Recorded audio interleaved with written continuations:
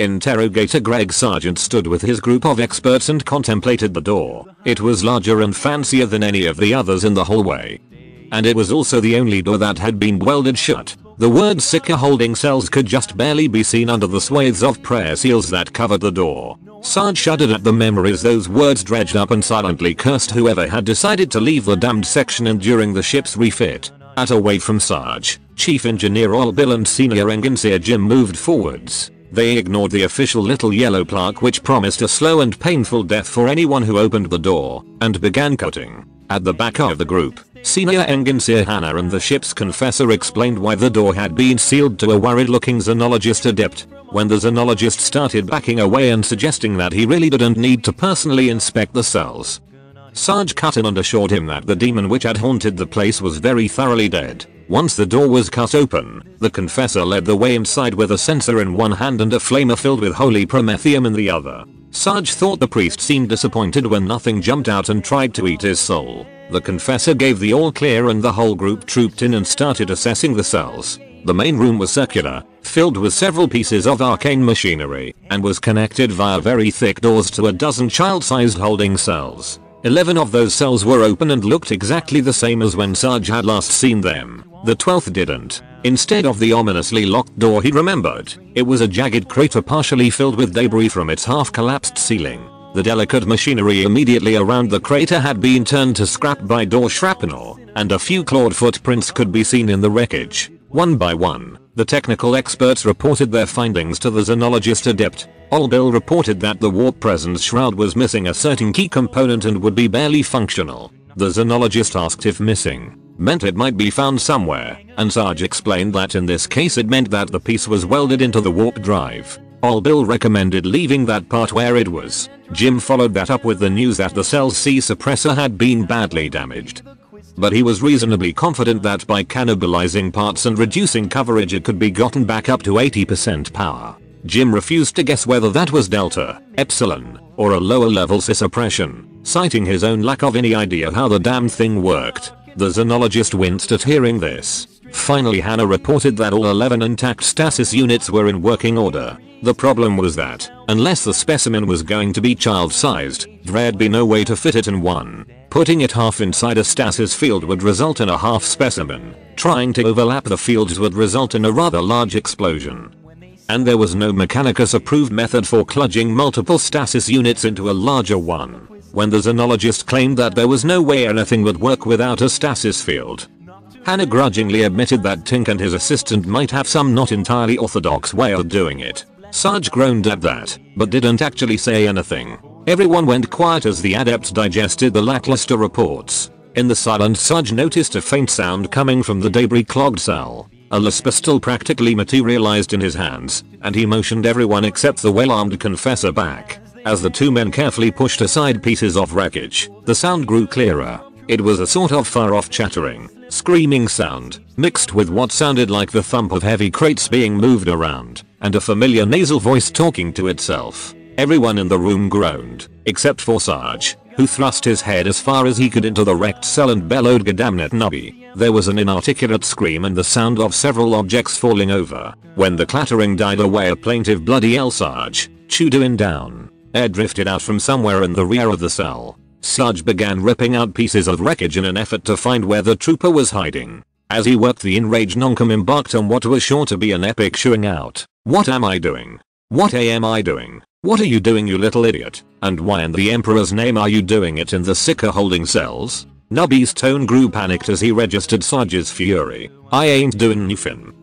And you made me promise not to go nowhere near your stupid cells. I'm just minding me own business down at the bottom of the lifts. This gave Sarge pause, and in the silence the faint chattering screaming he'd been hearing under Nubby's voice finally registered. Sarge groaned as the realization hit him. The confessor, who didn't know Nubby quite as well, asked if he was in the chapel to the emperor located in the deck below the lift to the bridge. Nubby's hesitant reply of sorta was cut off by Sarge. Nubby are you using the containment area inside the chapel, the one we built around the unholy screaming crater the Cogton left when he died, to store contraband? Comma no? Really Nubby? Well, not really contraband per se, just like, odds and ends. God almighty Nubby, it's not like anyone was using it. While Sarge and the Confessor both sputtered in a mix of horror and frustration, Jim raised the question of how the conversation was actually happening. Sarge couldn't see anything through the gaps in the debris besides the cell's rear wall. He grudgingly ordered Nubby to search the containment room for any sort of communicator or portal. Nubby followed their voices and reported the glowing crater left by the dead Cogtin as the source. He hesitantly asked if glowing metal could be a portal and if he should try poking it with something. Sarge's answer was drowned out by a screeching flood of demonic and binary screaming. The noise rose a crescendo as the far wall of the cell started glowing and a jagged length of metal poked through. The blade flailed around like a snake stuck in a hole and slowly hauled something that looked like a cross between a lasgun's barrel and a demonic skull out behind it. Sarge leapt aside as the confessor ran forwards and hosed the back of the cell with sanctified promethium. When the noise finally died down, Nubby's voice returned and asked if anyone had seen where his last gun had gone after the metal ate it. Sarge told him it was probably time to get a new gun from Tink and ordered the trooper to return to his quarters immediately, without any of his odds and ends. As the faint sound of Nubby's metal footsteps and curses faded away, Sarge turned to where the xenologist was trying to hide behind Olbil. Right, we'll worry about that later. Back to why we're actually down here. You've heard the reports. Do you think we can do it? Okay, just to be clear. Yes, we have a Psyker containment area with almost no warp presence shrouding, an indeterminate amount of psi suppression, and a stasis field that'll be clutched together from smaller units by that mad Xenos you've got hiding in your quarters. Aha. And you're asking if we can use this area, which is already so tainted that it's manifesting major phenomena, to hold a live Tyranid zoanthrope for a months long warp voyage? That's right. That is quite literally the worst idea I've ever heard. The All Guardsman Party Tyranid acquisition experts. So no shit, though we were, heading out beyond the fringes of Imperial space to capture a Xenoseeker, which we would then have to haul, kicking and screaming, halfway across the galaxy. There were probably shittier missions out there, but that wasn't much comfort. Saying it could always be worse loses its charm when things actually do keep getting worse. The only thing that kept us from labeling it as a suicide mission was the fact that a force from the Emperor's Scythe Space Marine chapter would be leading the actual capture effort. In fact it was technically their mission. We were just supposed to assist them in the capture, then handle the transport. The fact that we'd be working with, and fighting alongside, a team of space marines didn't actually make us much happier though. I mean sure, the marines are the greatest warriors in all the Imperium, near immortal demigods of war and all that, but we'd been in our share of battles. Every one of us had seen what inevitably happens when the Astartes get called in. The quickest way for a guardsman to meet the Emperor is to be anywhere within a 10 kilometer radius of one of his angels. Sadly, the assignment had come directly from Inquisitor Oak, so there was nothing we could do to avoid it. No matter how insane the mission, how bad our equipment, and how certain our deaths, there was nothing short of desertion that would get us out of our orders. So we went to work preparing our equipment and took solace in the most sacred right of all soldiers complaining. To start with, Tink complained about how unfair it was to stick him and Theo, our semi-captive TAU scientist, with so much to do in so little time. The two of them worked furiously on the problem of combining the smaller stasis units into a larger one. While simultaneously trying to cram more pulse weapons into Lasgun disguises and build Spot 2.0. Their efforts were seriously hampered by the fact that TAU science isn't anywhere near as advanced when it comes to stasis fields, or anything related to Psykers for that matter, as it is on the subject of plasma or drones. Then, on top of that, there was the whole heretical Xenotech on an Imperial vessel issue. The Xenotech problem wasn't as serious as it used to be.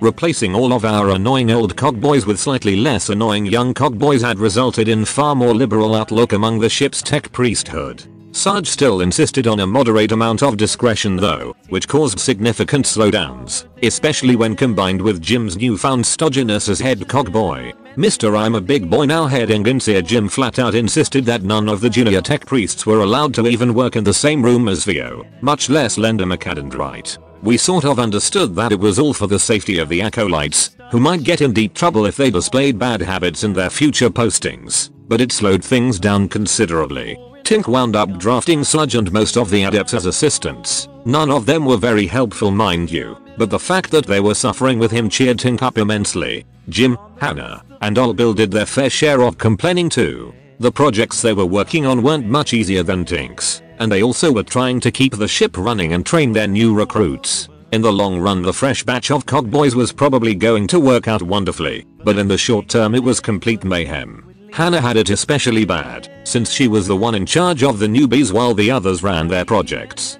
She was driven to the edge of hysterics by a constant barrage of questions and problems, ranging from trivial to potentially fatal, from the acolytes. The poor cog girl hid from them in our barracks more than once. While the technical folks whined about overwork, Doc, fumbles, and the xenologist adept complained to anyone who would listen about being used as human guinea pigs. Really, all of them understood there were no other options for testers, and the containment area had to be tested. They just hated the fact that said testing consisted of the xenologist coaxing fumbles into trying to manifest the sort of powers a zoanthrope might use.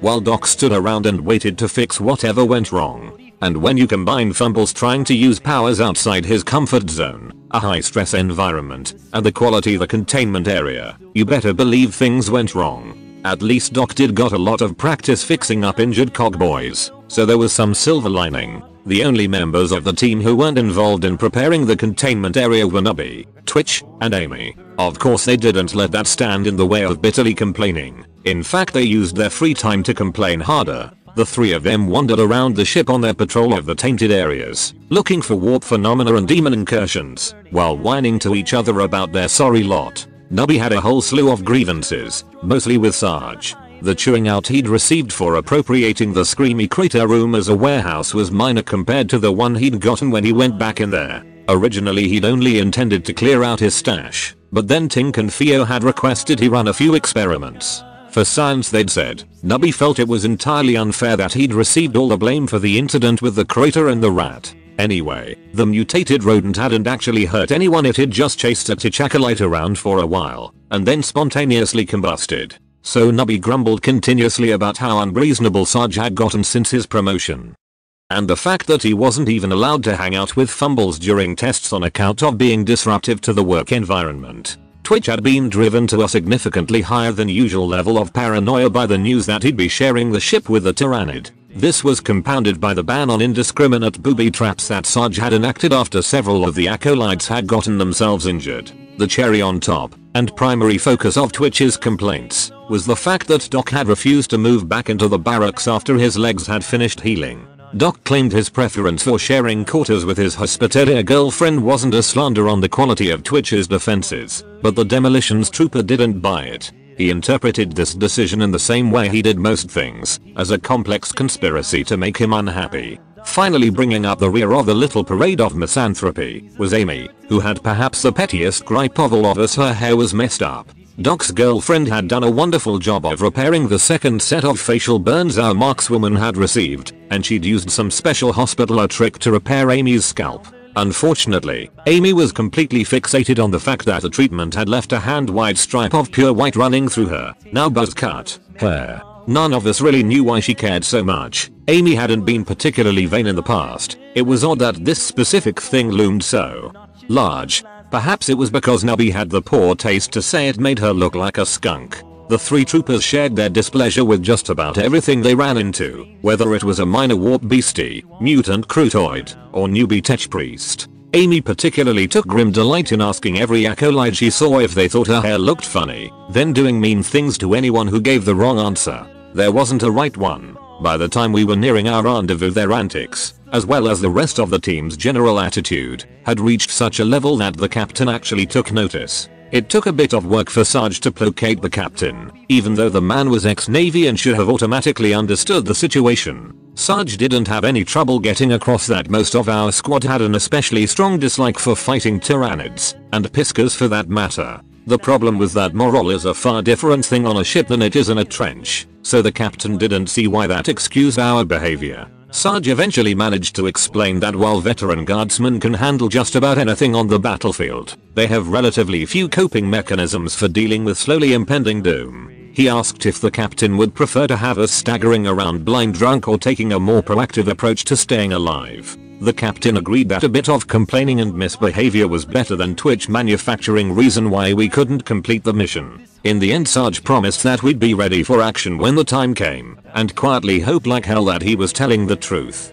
Luckily, it turned out he was on the final day of our warp travel everything started coming together. The first break was when Tink and Theo successfully managed to put the largest servitor on the ship into stasis. Actually it was originally the second largest servitor, but the overlapping fields had gotten out of sync on the previous test and messily rearranged that hierarchy. Anyway, the test was such a resounding success that they hauled the whole thing down to the cells and crammed fumbles into it before anyone could stop them. Aside from how long it took them to safely get our Psyker back out of there, the live test went perfectly. Fumble's aura completely vanished when the field was activated and everyone working in the cells cheered. Even Jim seemed happy, despite the way he was chivying his acolytes out of the room and explaining that they were definitely not seeing a TAU or a techno-heretical stasis device. The news that we'd be transporting a stasis to Tyranid Psyker, as opposed to one that was actively trying to kill us, perked everyone up. All of us set aside our little distracting grievances as our warp voyage ended. Well, except for Amy and Twitch that is. The demolitions trooper's behavior wasn't surprising, but the fact that Amy had to be restrained from beating Nubby to death with the bottle of hair dye he acquired for her was worrying. Fortunately neither of their obsessions prevented them from prepping for battle, and everyone was ready to kick some ass when we finally reached our destination. When I say we were ready for action, I mean it we were literally standing in the shuttle bay when the occurrence border came out of warp. The space marines weren't going to catch us sitting around and asking for 5 more minutes before the mission. No siree. So it was sort of awkward when there wasn't anyone at the rendezvous. We stood in the bay for an hour before we gave up in disgust. While the rest of us wandered off, muttering blasphemous remarks about the Emperor's Angels of Death and their idea of punctuality as we did so. Sarge headed up to the bridge to see what the hell was going on. We really expected to find the marines there ahead of us. It's not like we had a very fast ship.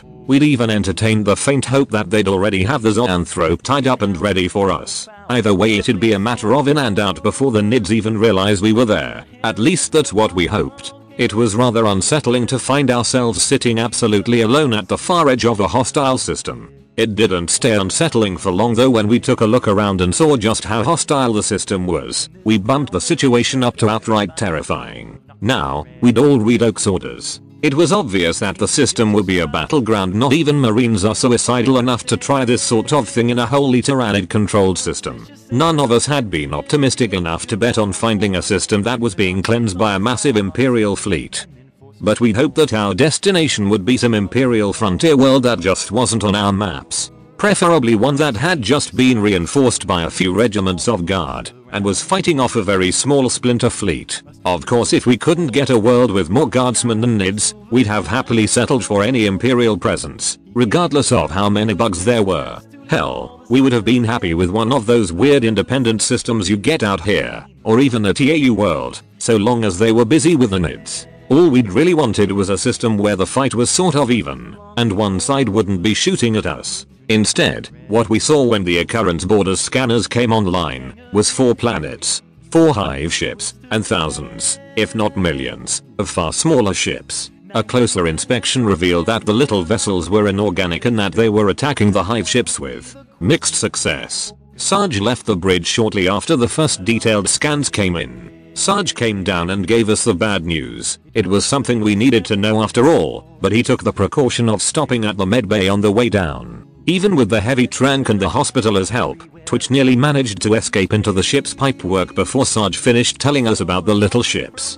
They hadn't been Imperial or TAU fighters, or even Eldar for that matter. Every single one of the smaller craft had been a ramshackle contraption held together by a combination of spit, red paint, and a complete refusal to understand, or even acknowledge the laws of physics. Orks, why did it have to be orks? The occurrence border spent the next few days being as still and quiet as it possibly could. Meanwhile, everyone inside it ran around in frenzy of preparation that put our earlier efforts to shame. None if it was directed towards improving the Zoanthrope containment area anymore though. Instead it was all focused on keeping us alive long enough to capture the bloody thing. Armsmen drilled on repelling borders. The ship's lances were brought up to as close to functional as they'd ever been and Tink finished getting everyone equipped with pulse weapons while Theo put the final touches on Spot 2.0. The rest of us trained with our new weapons, and kept Twitch from doing anything crazier than usual. On the third day we were all called up to the bridge by the captain. Well, actually only Sarge and the adepts were called, but the rest of us were tired of all the horrible waiting.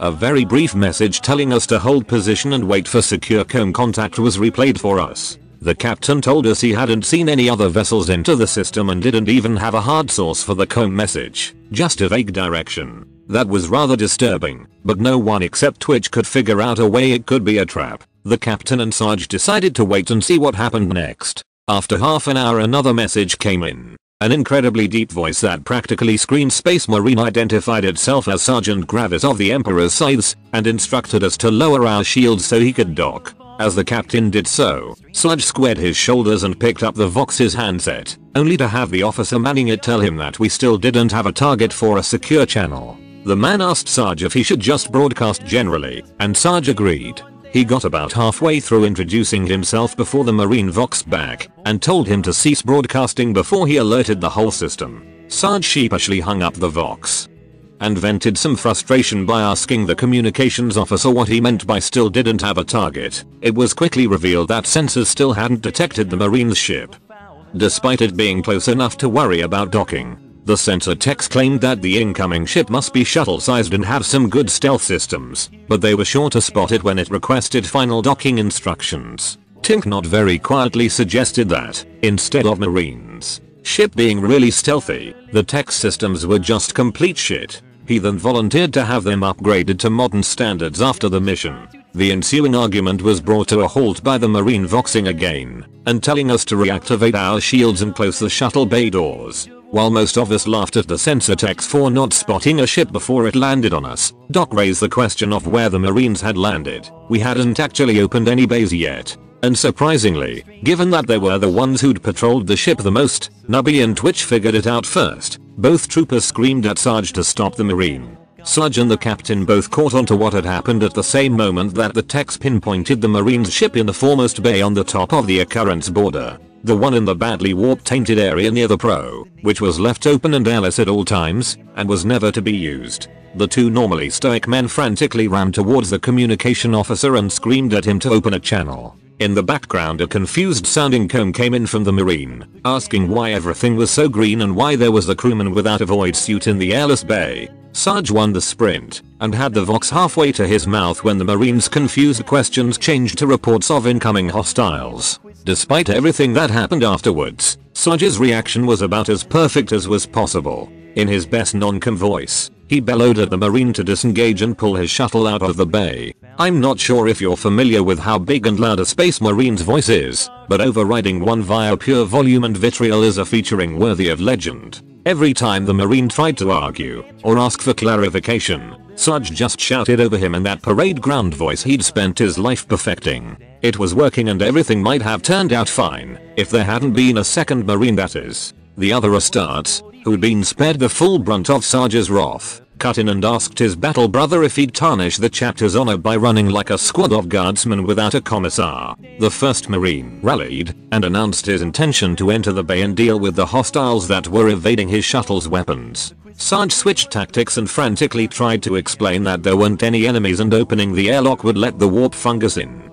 But dissolved into furious cursing when he heard a shuttle's lock cycle. With a final growl of this isn't a battle you idiot, it's sanitation. You're going to get yourself killed fighting fungus he handed the Vox unit over to Doc and the adepts. Doc and everyone else with more charisma than a dead Felid slowly explained the situation to the marine that hadn't just contaminated himself. The rest of us just stood there and listened to the sound of a space marine trying to kill Xenos that miraculously seemed to dodge every shot. Nubby and Amy started placing bets on how long it would be before the warp fungus, as we called it, ate through the marine's power armor, and whether the marine would even be able to notice. No one gave him good odds we all knew just how nasty the warp fungus could get. Hell, it had been some of us who first discovered the stuff. Standard operating procedure on the occurrence border was to just seal off any warp tainted sections with nothing important inside. The lack of anything living to mess with kept the number of manifestations to a minimum, and anything that did appear usually faded before it could claw through the seal bulkheads. Occasionally though, something nastier than usual would appear and need dealing with. Nubby, Twitch, Fumbles, and recently Amy, spent a lot of time watching for signs of this sort of stuff, and often got stuck with the job of fixing it. Anyway, the warp fungus was one of those nastier than usual things, but fixing it had been a bit of a problem. Fumbles had sort of heard it in the tainted shuttle bay months ago, back before we'd reached the TAU border worlds in fact. He'd made such a fuss about the psychic noise it was emitting that Nubby and Twitch had agreed to risk a recon mission into the bay between warp jumps. They'd run in and pinpointed a large container labeled potato substitute 15 tons as the source of the noise. Because they were relatively savvy to how this sort of things worked, they'd declined to actually open the container and just solved the problem in the same way they'd solved most of the others. Which is to say they covered it with det packs. At the time they'd declared victory when the explosion went off and the psychic noise stopped, but in retrospect that had only served to spread the fungus all over the bay. While the noise hadn't returned, patrolling armsmen began reporting strange sounds then disappearing, and then other armsmen reported hearing or seeing the missing ones. Over a dozen had vanished into the bay before Nubby and the rest took a second look. They'd found it covered with the fungus. Which was in the process of dissolving everything less sturdy than the bay's blast-proof outer doors and walls. Also, it was filled with the missing armsmen, who were beckoning them inwards. Nubby, Fumbles, and Twitch had immediately shut the door and ran for it. As the they'd fled, a horde of orks, Gensa and a few other varieties of Xenos appeared at the end of the hall and blocked their escape. Fortunately Fumbles was along and realized that the new enemies were some sort of psychic illusion. The Psyker was able to dispel the illusion without anything more serious than a temporary reversal of gravity happening, and the debatably heroic trio escaped. There had been a few attempts to kill off the warp fungus after that. Unfortunately between its caustic nature, the hallucinations, and the fact that it was hellishly hard to kill, all that was accomplished was getting a few more armsmen and a whole lot of servitors melted. Eventually someone suggested just voiding the bay, then leaving it open until the stuff died. That didn't actually work. But it did cause the stuff to go dormant unless something ventured into the bay. Since we didn't actually use the bay for anything, the captain had decided that the problem was no longer pressing and we'd gotten back on our way. As a precaution old Bill had reinforced the seal on all the bay's doors and vents, and the only one allowed to go near it had been one of the senior tech priests. The cogboy had some ideas about chemical sprayers deployed by servo-skulls, and Jim said he'd made some real progress, but then the whole tech-heresy thing had come up.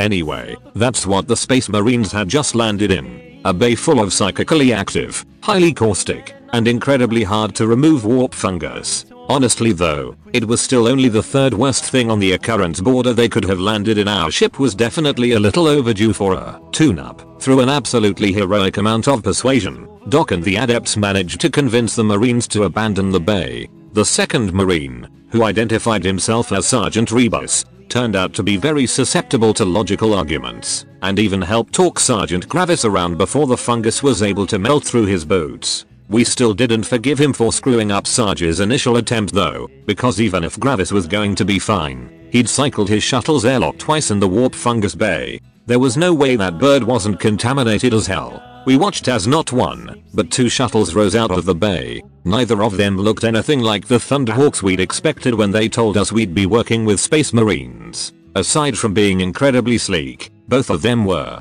completely black and only visible because of our ship acting as a backdrop. One of them was definitely having a little trouble flying in a straight line though. And showed up as a faint ghost on the sensor tech scopes. The other remained stubbornly invisible to all scanners as it settled in space in front of the bridge. The decontamination process was not fast the sprayer skulls had to be found and refilled, the contaminated shuttle had to be completely voided, and a holding area had to be set up. On top of that, the whole time this was going on, Sergeant Gravis and his shuttle's crew were, as Tink put it, tripping balls. Given how heavily armed they were, the situation was very uncomfortable, but luckily no one was killed and only one sprayer skull was destroyed. After hours of tedious cleaning, not to mention angry shouting about whose fault this all was, our team met with the Space Marines in the Occurrence Border's fanciest conference room. Our planning session was short, direct, and absolutely terrifying. Sergeants Gravis and Rebus of the Emperor's Scythe Space Marines chapter were not what you'd call socialites. In fact they were even more aloof than the few marines we'd met previously. They stomped into the conference room still wearing their power armor,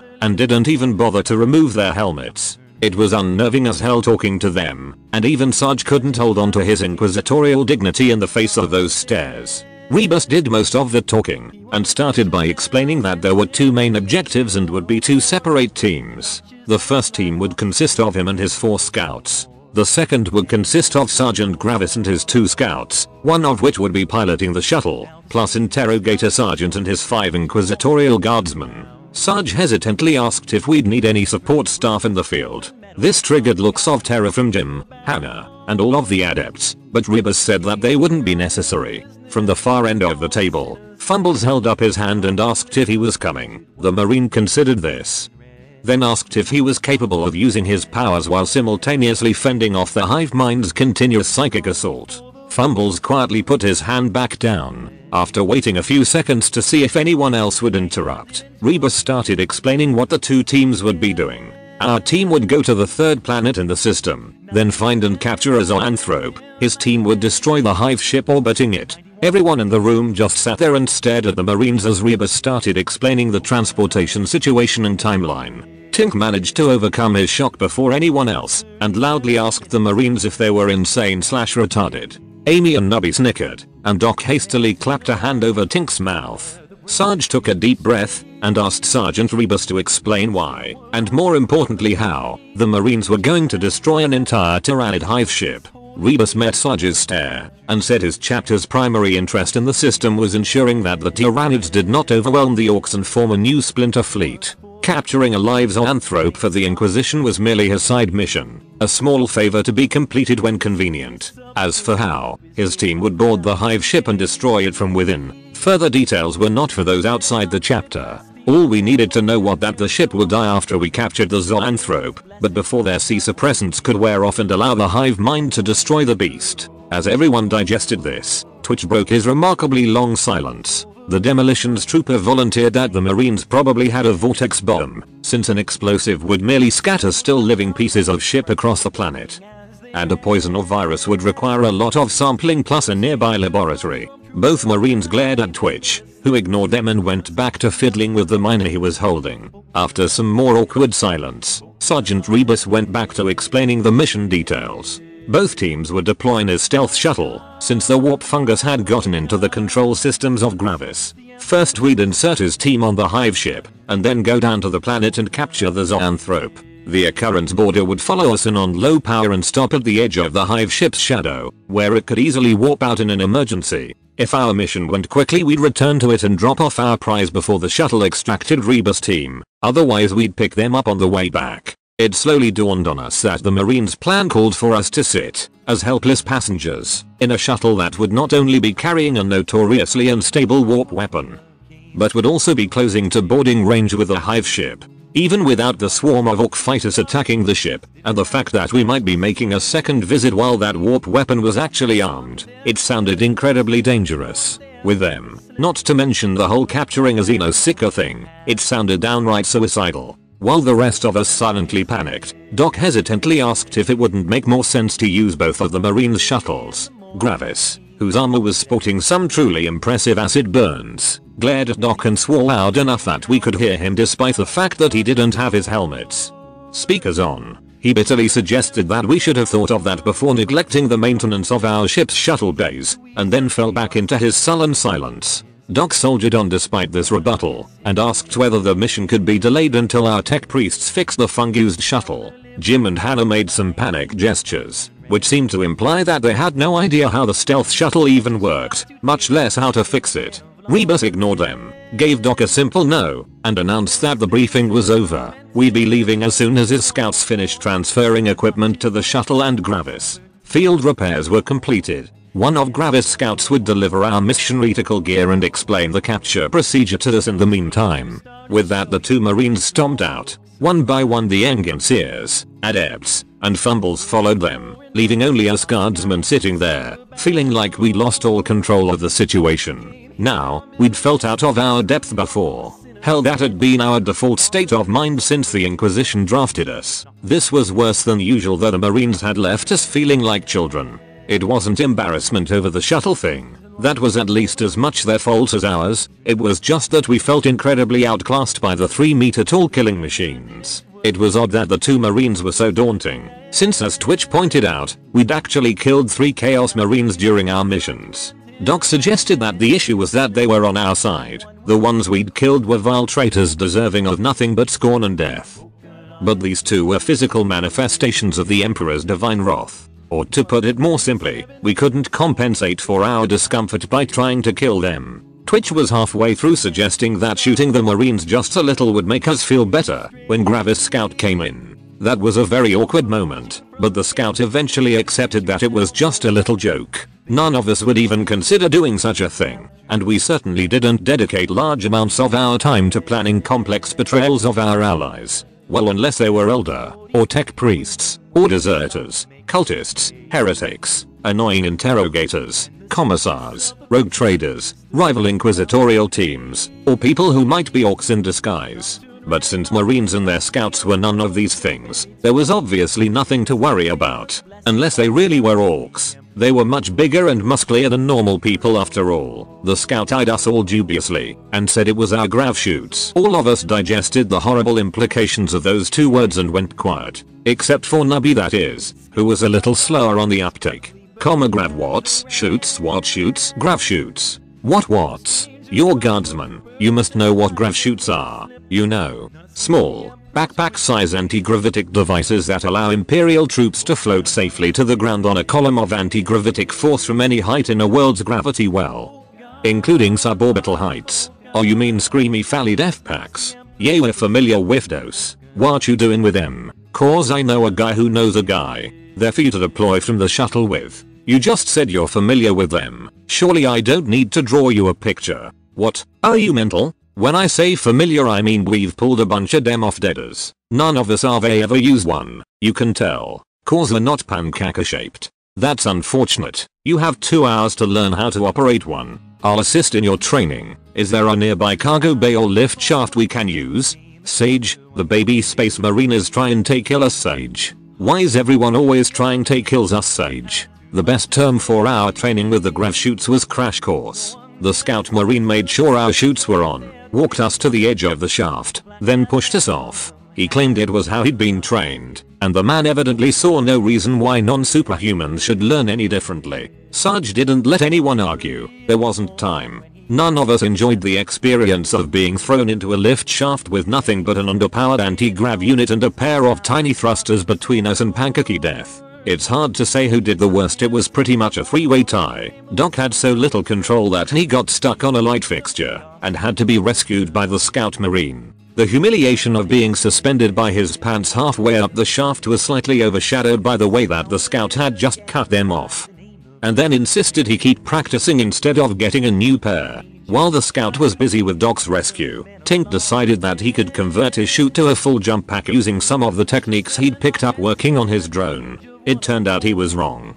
So much so in fact, that he had to be issued the only spare chute. Of course, Tink immediately declared that he knew what he'd done wrong. And started to retry the modifications using his replacement chute. Sarge had to take his tools away. Finally, Amy misinterpreted a suggestion to wear a helmet as a comment on her hair. She tried to deck the scout, and found out a space marine's jaw is a lot tougher than any non-augmetic hand. Doc, still pantsless, checked her hand and said it wasn't broken, so Amy grumpily resumed her training. For his part, the scout marine took the irrational attack in stride, but that was obviously the point where we lost the last of our credibility in his eyes. Despite all the difficulties and our teacher's disgust with us, we all managed to get down the shaft safely a few times before the training ended. We gathered up our gear, got Doc some new pants, and made our way to the bay where the unfungused stealth shuttle was being prepped. Once there the scout marine brought out an impressively large sniper rifle and explained how the zoanthrope's capture would work. We noticed that unlike the previous lesson, this briefing consisted of nothing but short words and included a lot of hand gestures as well as a few pictures. None of us commented, but Amy and Tink were obviously taking note of every little implied insult. The gist of the plan was that the stealth shuttle would sweep over the battlefield until we saw Zoanthrope. The shuttle would fly over the target, and then everyone but the pilot would deploy via grav chute. From there, speed was the name of the game. The estimated mission length was 10 minutes if our insertion was undetected, and 3 if it was. If we took any longer, Tyranid reinforcements would bury us. Our squad would secure a perimeter and hold it against any Tyranids that came to support the Zoanthrope, while Sergeant Gravis wore down the Xenos psychic shield bubble thing. Once the shield was breached, the scout would shoot the zoanthrope with a specially tailored sedative and C suppressant. and then we'd all fall back to the nearest possible landing area for extraction. It was the complete opposite of all the horribly complex ops we'd suffered through since joining the Inquisition it was ultimate simple, straightforward plan. If it wasn't for the fact that we'd be outnumbered thousands to one, we'd have loved it. As it was though, there's no word for how much we hated that plan. Honestly all of us, even Sarge, would have bailed if the two space marines hadn't shown up. None of us had the nerve to refuse the Astartes, so we boarded the shuttle and headed off to our certain deaths. The shuttle trip into the system was amazingly unpleasant. It wasn't that the stealth shuttle was crowded. There were only 13 of us in it, or 15 if you counted the seats taken by Spot in the Vortex bomb, and the seats themselves weren't that bad either. Sure they were a little on the big side, but space marines definitely spare a bit more budget for comfort when building a ship than the guard does. So the ship was fine. The problem was the atmosphere being generated by our fellow passengers. They were too quiet. See, if it were a guard shuttle everyone would have been complaining, joking, or smoking. Even the driest inquisition teams we'd been assigned to would have at least been doing some gear checks. Or reminding us stupid guardsmen what our job was. The marines and their scouts just sat there and silently prayed or meditated or something. No talking, no moving, and hardly any breathing for hours upon bloody hours. You'd think we could just ignore it, but any time one of us made the slightest bit of noise the entire creepy lot would glare at us like, well, like noisy children in a chapel.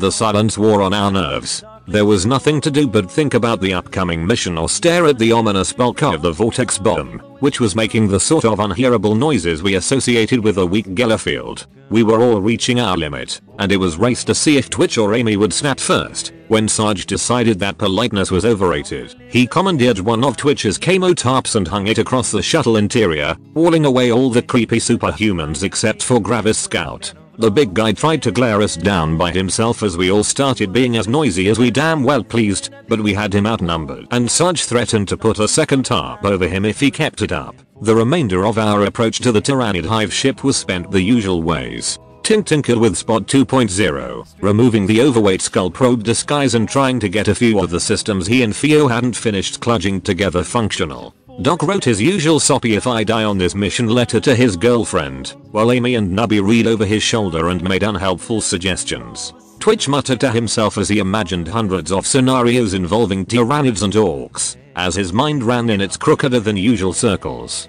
He continuously moved gear and explosives between his bag and the massive pile of spares he'd brought. Sarge watched as we frittered away our time, and saw that it was good. We all suffered a moment of heart failure as Sergeant Rebus tore down the tarp, followed by another when the homemade cluster mine Twitch had been holding hit the floor. The space marine stood there and waited while we picked springs and, thank the emperor unarmed, explosives out from under our seats. When the last bomblet had been collected, Rebus informed us that the shuttle was nearing the hive ship and would be switching to full stealth mode. We were to secure ourselves and our gear, put on our rebreathers, and stay out of his team's way while they deployed. We did as ordered, and a few minutes later the shuttle ride went from boring to terrifying. The cabin switched to emergency lights, the air vents stopped blowing, and the gravity deactivated. We floated in our seats for a few seconds, then the first evasive maneuver hit us. Let me tell you, no one thinks about those grav tied to a shuttle's engine seriously until they're turned off. Instead of the usual little jolts of spillover, they were as long, continuous pulls in seemingly random directions. We felt completely helpless as we bounced and swung in our crash harnesses. Then Tink decided it might be better if we could see what was coming and anticipate the maneuvers. It was not. Who knows what the marines and scouts thought when Spot 2.0 drifted past them and entered the cockpit. They didn't actually say anything about it.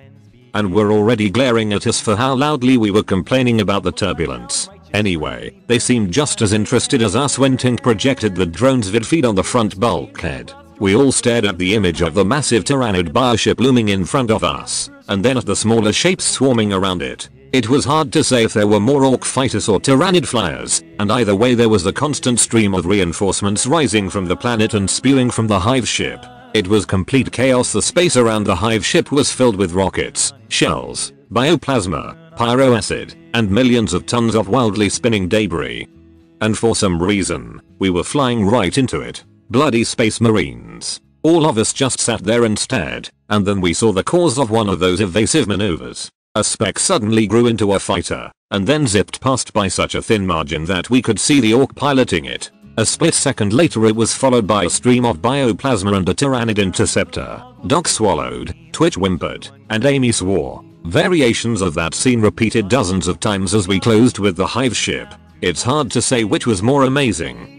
The way the scout marine pilot twisted away from every impact with bare meters to spare, or the fact that none of the hostiles saw our shuttle, even while nearly colliding with it. Our slow approach to the hive ship through that space battle was a terrifying and humbling reminder that, if guardsmen's nerves are steel, space marines are adamantium. Not that we actually had what you might call nerves of steel, all of us were scared shitless. And when the pilot took cover from a pyroacid barrage behind a lander that was visibly filled with commanders, Twitch went from scared to full on freaking out man. When Twitch started gibbering Sarge barked orders at Tink and Doc to turn off the projection and prep a trank. But none of us had anywhere near the same speed as the panicked demolitions trooper. In a startlingly short amount of time, Twitch had cut his way out of his crash harness and relocated to a more defensible position.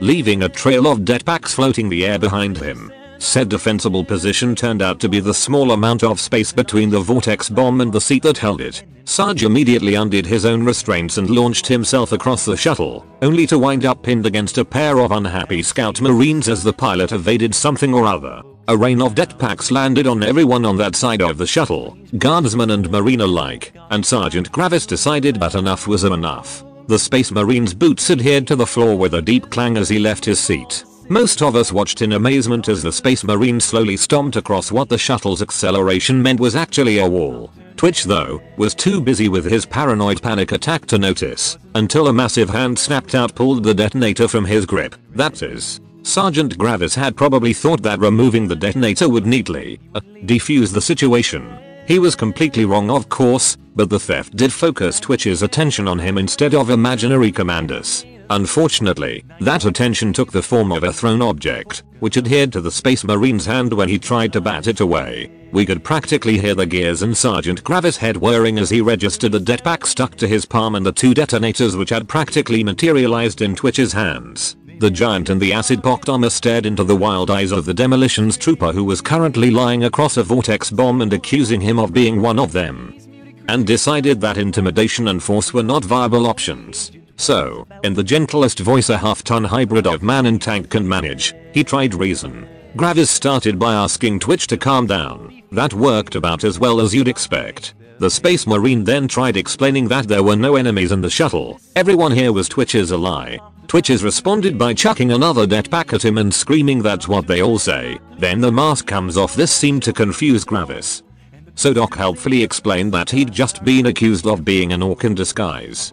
Gravis pointed out that Twitch was obviously insane, which won him yet another det pack and a scream of they all say that too. At that point Gravis must have been losing confidence in his strategy, because he turned and asked the rest of us what to do. Nubby, Amy, and Tinkle simultaneously made unhelpful suggestions, and Sarge was busy clinging onto Sergeant Rebus' seat as yet another evasive maneuver tried to fling him across the shuttle. Doc told the Marine he was doing fine this sort of argument was pretty much the standard operating procedure if no one managed to trank Twitch before he got the explosives out. He suggested that Gravis continue by taking off his helmet and proving he wasn't an ork. Twitch agreed that the ork should show us his real face. So he did.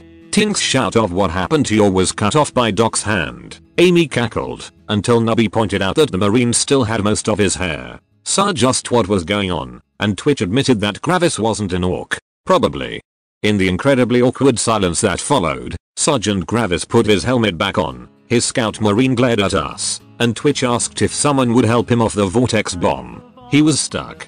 Gravis collected both Twitch and Sarge, who was still clinging to the meditating Sergeant Rebus for dear life, and deposited them both in their seats. As the marine stomped around, he talked to us, giving us a morale boosting lecture he claimed was given to him as an acolyte on his first boarding mission. We were instructed not to worry about what we couldn't control, and to focus on remember glorious victories of the chapter, or in our case, the Cadian regiments. Nubby asked what was so special about those nutters. This caused a pause in the motivational speech. It was eventually established that our regiment wasn't from Cadia, Catachan, Krieg, Elysia, Maccabeus, Mordian, Tallarn, Vostroya, or any other world famous for its contribution to the guard. Furthermore our regiment had never accomplished anything other than serving as cannon fodder for more important imperial forces. No glorious victories for us. At an indignant objection from our markswoman, this was adjusted to no glorious victories for anyone except Amy and her Nabi regiment of Nabi knobs.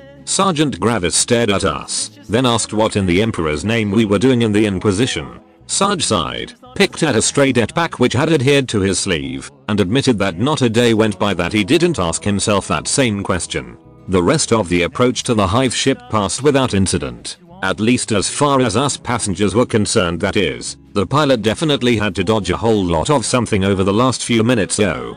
Thank the Emperor Tink never turned the vid feed back on. At a word from the pilot Sergeant Rebus and his four scout marines sprang out of their seats and positioned themselves around the vortex bomb. A few moments later there was a squishy impact, and the stealth shuttle's rear door opened to reveal a pulsating wall of flesh stuff. The scouts painted it with something, Rebus stabbed it with his power sword, and a gap was pried open. To our disgust, the five marine boarding party then smeared themselves with the juices running from the gap. Once they, and the vortex bomb, were good and covered, they pulled on some chameleoline cloaks that looked far better than any that had ever been issued to a slowly guardsman, and climbed through. Sergeant Gravis planted a probe looking device in the gap behind them, and then sealed it with some big staple things and some chemical spray. When the gap was closed, we heard Gravis and Rebus do a comb check and schedule the pickup. Then the shuttle's door silently closed and we started drifting away. From docking to undocking, the whole boarding operation took just under 5 minutes. It the most impressive display of efficient professionalism we'd ever seen. But I'm not sure any of drew a breath during the whole thing. We all prayed to Emperor that we wouldn't have to be on the shuttle during their pickup. There's a moral about getting what you wish for and they're somewhere. We descended to the planet alongside the hail of spores spewing from the hive ship. It went a lot faster and required fewer evasive maneuvers than our approach had, which was good for our frayed nerves. Now that Sergeant Rebus and his team of suicidal supermen had departed, Gravis and his scouts became a little more chatty. The scout piloting the shuttle brought the gravity up enough to keep us in our seats and told Gravis that he was starting scans. Gravis brought out an oversized dataslate and began staring at it with the other scout. They didn't seem to think that we really needed to take part in the discussion, but when Tink sent his drone to hover over their shoulders, Gravis decided it was easier just to let us participate. Gravis and his two scouts were searching the battlefield below us for signs of zoanthropes, Specifically they were looking for big old bolts of warp lighting which could be traced back to the Xenos Seeker firing them. That sounds fairly simple, but given how far up we still were and how much of a mess the battlefield was, we decided that it was pointless to try and help. While the marines strained their eyes, the rest of us concentrated the sort of things our slowly guardsmen find important, namely weather, terrain, and hostile positions. These turned out to be acid rain, wasteland with giant spiky rocks, and everywhere. In short, it wasn't a place we wanted to get anywhere near, much less drop onto via grav chute. Nubby and Tink started the argument by complaining about the suicidal nature of the mission and suggesting that we just lie on the report. Which prompted the scout marine to tell us all to grow a backbone and a proper sense of duty. Amy told him where he could stick his backbone and sense of duty, and things went downhill from there. Sadly there wasn't time to get a real good fight going we only managed a bit of name calling and a few anatomically improbable threats before Gravis finally spotted some warp lighting. Sarge, Doc, and Twitch stared at the dataslate with the marine. The section of battlefield he was looking at was a complete free-for-all between the orks and nids, and a particularly dense cluster of jagged rocks was emitting bursts of lighting. Gravis said that the frequency of the bolts indicated it was a lone seeker, and went on to point out that the position was not strongly defended against an airborne insertion. He suggested that we move on the target immediately, before it was killed or the battle shifted, but Doc and Sarge didn't like that they couldn't see inside the pile of rock the seeker was hiding in. And Twitch was Twitch. Sarge asked Gravis how sure he was that A there wasn't a whole hive's worth of nids in there and, at Twitch's insistence, B that the lighting shooting Xenos wasn't actually an ork. Gravis just glared at us and said he was 73% certain that this was an acceptable target. Our fearless leader tried to stare down the space marine for about 5 seconds, then decided that this sort of decision, not to mention arguing with Astartes, was above his pay grade. Sarge rounded on the rest of us, and started bellowing orders to prep for deployment. Tink got spot stealthed up and verified that our scopes were synced. Nubby and Amy flung a final few insults at the scout marine. Doc tried to remember which button was which on his grav chute. and Twitch angrily grabbed a last armful of explosives while muttering about no one taking orks seriously. When everyone was ready, we formed up behind Sergeant Gravis and his scout. A few minutes later, the shuttle hatch slammed open. The space marine stepped out into the air and dropped out of sight. Sarge followed him to the edge, looked down, and froze as he saw just how far down and covered with pointy things and Xenos the ground was. Then the scout marine pushed him, now, just to be clear, while there are entire regiments of guardsmen dedicated to doing grav drops, the rest of us think they're insane. Even your average Catachan will call an Elysian, or any other type of drop trooper, an adrenaline, hungry madman, and mind you, that's coming from someone who would gleefully try to kill a warbus with nothing but a combat knife. I mean, who in their right mind flies all the way to the battlefield in a perfectly functional shuttle, then jumps out of it while it's still half a click off the ground, Anyway, dropping through the air towards a pile of rocks that resembled nothing so much as a giant demonic hedgehog was not on the list of things we'd joined the guard to do. The fact that there was a hostile Seeker inside said rocks, not to mention the bloody melee of orks and tyranids around them, did not make it any more attractive. If it wasn't for the fact that Sergeant Gravis was already on the ground and clearing our landing area, we all would have stayed in that shuttle. Also the scout marine kept pushing us. Despite how unpleasant we found the drop, the painfully direct training we received meant we all made it down in one piece. One piece doesn't mean cleanly though only Sergeant Nubby made what could be good landings, and that's only if you count landing on an unsuspecting ork and Hormagaunt as good. Doc and Amy wound up colliding with each other in the air, and made an awkward dual landing on one of the jagged spires. Amy managed to stick the landing and started picking off targets, but Doc wound up sliding off and bouncing to the ground like a terrified pinball. Tink outright stopped his descent by having Spot come up under him. He happily shot into the melee from his perch, until a flesh burrow to the leg reminded that hanging in the air, where there is no cover and everyone can see you, is a terrible idea. Luckily, he landed next to Doc. Twitch did not hit anything, but he swerved around a lot for some reason. Sergeant Gravis had cleared us a beachhead, and those of us who hadn't gotten shot or cracked a rib on the way down widened it.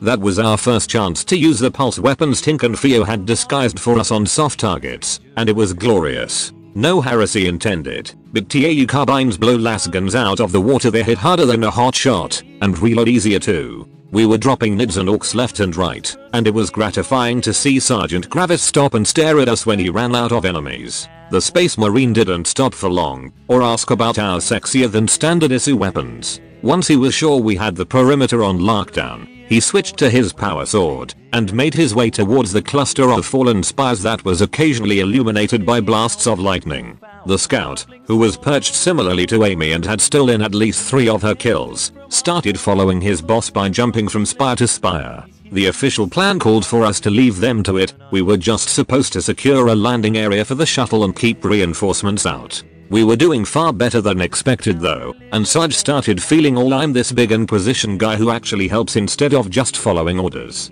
So he followed Gravis to lend a hand with the zoanthrope, and Twitch tagged along for his own reasons. The rest of us were more than happy to stay put and keep shooting any orks or tyranids that wandered our way. Looking back, holding that perimeter was far too easy. There was never a concentrated attack on our position.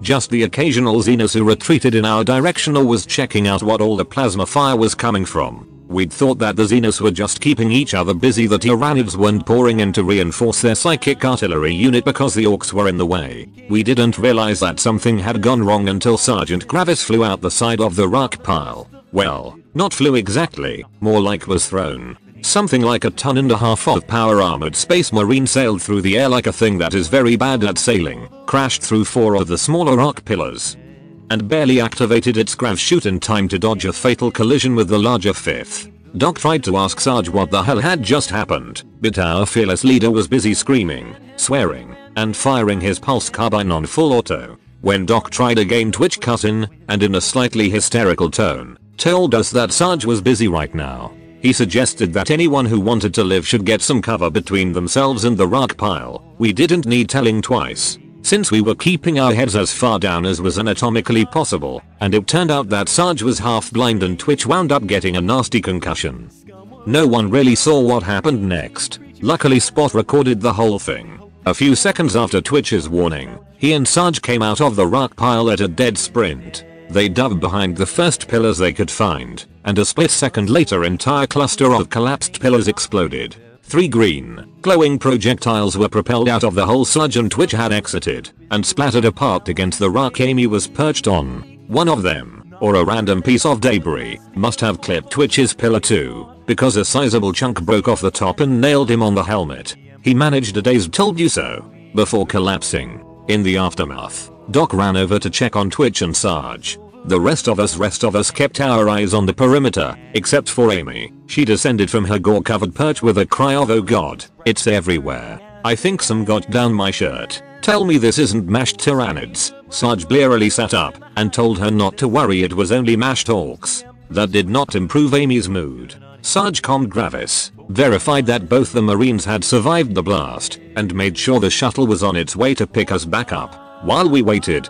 and shot the occasional ork or nid that took an interest in us, Sarge explained what had happened inside the rock pile. Sarge had followed Gravis down a sort of tunnel that headed towards where the warp lighting was coming from. The space marine had been sprinting ahead and had obviously intended to rush the Psyker with his power sword before it could notice and fry him with lightning. Sarge caught up just in time to see Gravis exit the tunnel and pull off the close to melee range part of the plan. But the Xenos Psyker hadn't been the frail range support unit they'd expected. Instead, Sarge and Gravis wound up face to face with a big ol' psychic, not to mention psychotic and psychopathic, ork. To the Space Marine's credit, he hadn't hesitated at all. He'd waded right in and started chopping and stabbing while Sarge gave covering fire. Unfortunately, the weirdboy had a bunch of bodyguards, and they bought him enough time to do some warpy stuff. Sarge said the moral of the story was, if a warp energy infused ork charges you with supernatural speed and a big glowy stick, it is a far better idea to dodge his swing than to try to block it with your power sword.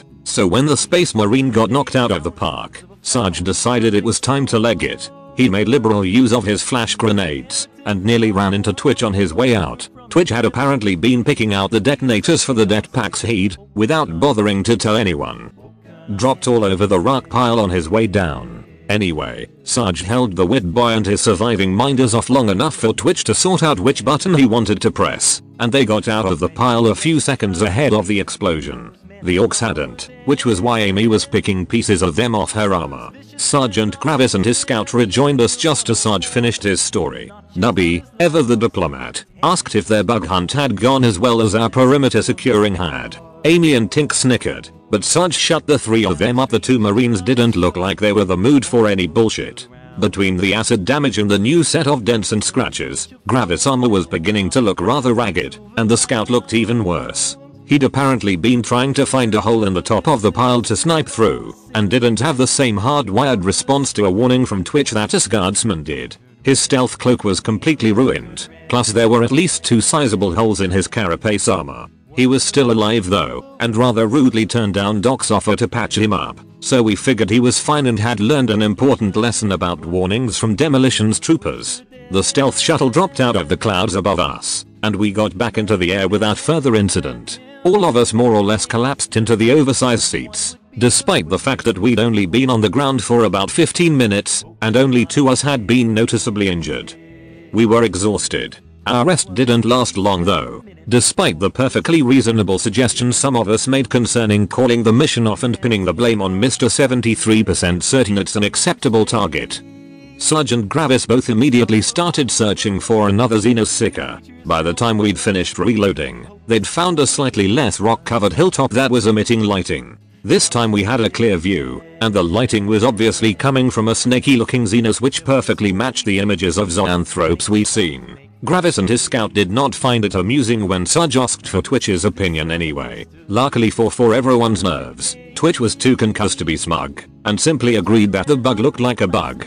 As our shuttle neared the hill we realized that this drop was going to be nastier than the last. This time, instead of a free-for-all, the hill was clearly in Tyranid hands claws whatever, and it looked fairly critical to the local battle with the greenskins. The Nids definitely weren't going to let us wipe out their artillery without a fight they'd reinforce it as heavily as they could manage. Perimeter duty would not be another cakewalk, and if it took too long to subdue the Psyker, we'd be up to our asses in bugs. Sarge quickly split us into pairs, assigned us to the three main approaches to the hill, and convinced Twitch to share his mines with us. We'd clear the area, push out, then plant the mines and fall back towards the top if things got hairy. Before anything more complex could be put together, we reached the DZ. Sergeant Gravis was the first one down again. He leaned out the rear hatch, sighted the zoanthrope, and pretty much dropped right on top of the Psyker. The rest of us followed as quickly and professionally as we could manage. None of us even had be pushed out of the shuttle by the scout this time. Every single one of us landed with our weapons firing. There were 7 or 8 termagants keeping the zoanthrope company, and only one of them was still alive when we hit the ground. Sarge finished that one off, and we all fanned out towards our assigned areas. We moved fast, motivated by a desire to get our choker points set up before Reinforcements arrived, and to get something solid between us and Gravis fight with the Zoanthrope. Honestly we hadn't taken the Space Marine too seriously up to that point. I mean we respected him and found him daunting as hell. But his combat performance in the last drop hadn't been up to the stories you hear about Space Marines. His fight with the Tyranid Psyker though, that was something to tell your grandkids about. In the few seconds we saw him fighting before we got under cover, Sergeant Gravis baited out and dodged three massive lightning bolts, scored twice as many hits on the Xenos shield bubble, and generally moved with more speed and grace than should have been possible. Abstractly we'd known that the Emperor's Scythes chapter were the best experts available when it came to fighting Tyranids. But watching Gravis play that Zoanthrope like a fiddle really drove it home. We all would have stopped to spectate if the Zoanthrope's misses weren't blowing the rocks near us into red hot shrapnel that is. Anyway, we all got the hell off that hilltop and into position. Spot stayed up high and gave us a good view of the incoming reinforcements as we set our mines and found the best lines of fire. We all finished our preparations just in time and started mowing down the first wave of Tyranids as they climbed the hill. That first wave was nothing but the Gaunts, both varieties, that had been near the hill Thanks to the wonderful nature of choker points, not to mention good firing positions and techno-heretically awesome weapons, we were able to kill them all before they managed to shoot or claw us. That's not to say that we actually killed all of the Tyranids. Nids don't tend to run out of bodies to throw at a problem, but we did convince them to rethink their strategy. Once the choke points were too, well, choked with their bodies for any more to get past, the grunts broke off to wait for heavier reinforcements. Now, we'd been in this sort of fight with Nids before. Back when we were actually in the guard we fought a memorable, and debatably successful, defensive battle against the bugs. So, we knew what would almost certainly come next warriors, possibly with Ravener or Gargoyle support. On our respective sides of the hill, Amy, Nubby, and Tink all moved to elevated positions and helped spot watch for the higher life forms. Meanwhile, those of us still on the ground made sure the mines and our next positions were ready, and Sarge checked in with Gravis and his scout. The marines were still working on wearing down the zoanthrope shields without killing it, and asked us not to distract them again. We all made some rather unkind comments at that last part, but refrained from transmitting any of them. Spot the Wonder drone tagged the second wave on its way in, and as we'd guessed, there were some warriors directing the charge from behind the initial meat shield. The guard has a standard combat doctrine for pretty much every situation. While most of these are not very individual guardsman friendly, the one for that sort of attack is a good one. So for once we did things by the book. Admittedly said book is rather short, but that just means it's easier to remember. The three of us that had moved into sniper positions held our fire and prepared to shoot the big one first. On Doc and Tink's flank, an overcharged, TAU laser thingy guided plasma bolt turned their warrior into chunky salsa. Over on Amy and Twitch's, a precision headshot from our actually quite talented markswoman took out theirs. With the synapse creatures dead, the Gaunts lost cohesion and both pairs of guardsmen easily mowed them down. Unfortunately the sniper on the third flank was Nubby, who didn't have Tink's anti-armor weapon or Amy's accuracy. A very angry, if rather burnt and bloody, Tyranid warrior immediately returned fire with one of those big B gun things, pinning Nubby down on his sniper perch. Sarge tried to hold off the incoming wave himself, making heavy use of his grenades and the choker point, but it quickly became apparent that it wasn't going to work. Sarge calmed the rest of us and, over Nubby's shrill screaming, asked if anyone could give him support before he had to blow his minds and relocate. The rest of us were still rather busy with our mop-ups, and reinforcing Sarge meant crossing the zoanthrope infested hilltop, so we all declined. It seemed like Sarge was going to have to give up his flank's safety margin, and he was getting ready blow his mines and pull Nubby out, when the scout marine told him to hold a little longer. Sarge managed it. He wound up having to use his boots to keep an especially persistent gaunt off while he reloaded, and his armor and beefiness barely saved him from a few fleshborer hits. But he managed it. Right as things were getting downright dire, the warrior and several nearby gaunts went down to an amazing display of precision shooting. Nubby finally got his ass out of cover and helped Sarge turn the tide back around as the scout returned to the zoanthrope fight. Things were looking pretty good, even if we could see the third wave mustering near the bottom of the hill. Good changed to great when we heard Gravis say the zoanthrope's shield was almost down, and then everything went to shit. Looking back, it's not that hard to spot the exact moment when the shitting of the everything occurred. Actually it wasn't that hard to spot at the time either, within 20 seconds of it happening we knew what had gone wrong and why. But it took a bit longer for all the horrible results of that one screw up to manifest. Anyway, what started that whole horrible shit show was a simple communications failure at a rather hectic moment. The third wave of tyranids was coming in, and we were busy shooting them and getting ready to blow our minds and fall back. Up on top of the hill, Sergeant Gravis had the zoanthrope on the ropes and was ordering his scout to get ready to trank it. The scout marine had just returned from helping Sarge and was perched on one of the pointy pillars on top of the hill. As the scout got the trank ready and lined up what must have been a rather tricky shot, he spotted something and calmed us. His exact words were, Interrogator, incoming Tyranid assault flyer, north side. Now let's do an experiment. First, Go out and find 50,000 guardsmen. Actually, go out and get a hundred. It's not like guardsmen hard to find. Hell, we're literally the largest organized fighting force in the galaxy. Which, come to think of it, means that the definition of a standard response to anything is what we do, not what a few bloody crazies stomping around in power armor and getting eaten by bugs. Anyway, ask any of these guardsmen what they'll do when someone warns them hostile air units are incoming. Nothing else, no details or orders, just hostile air incoming. You know what they'll say? It'll be the same regardless of regiment, specialization, rank, or anything. Every single one of them will tell you the same thing they will get the hell into cover. Apparently the Emperor's Scythes chapter of the Space Marines aren't on the same page as the rest of us though, or at least that Scout Marine wasn't. I mean if he'd just been a little more clear, if he'd added just a few more bloody words, like take IT out or cover ME, or even if he'd just shortened it to incoming assault we would have understood.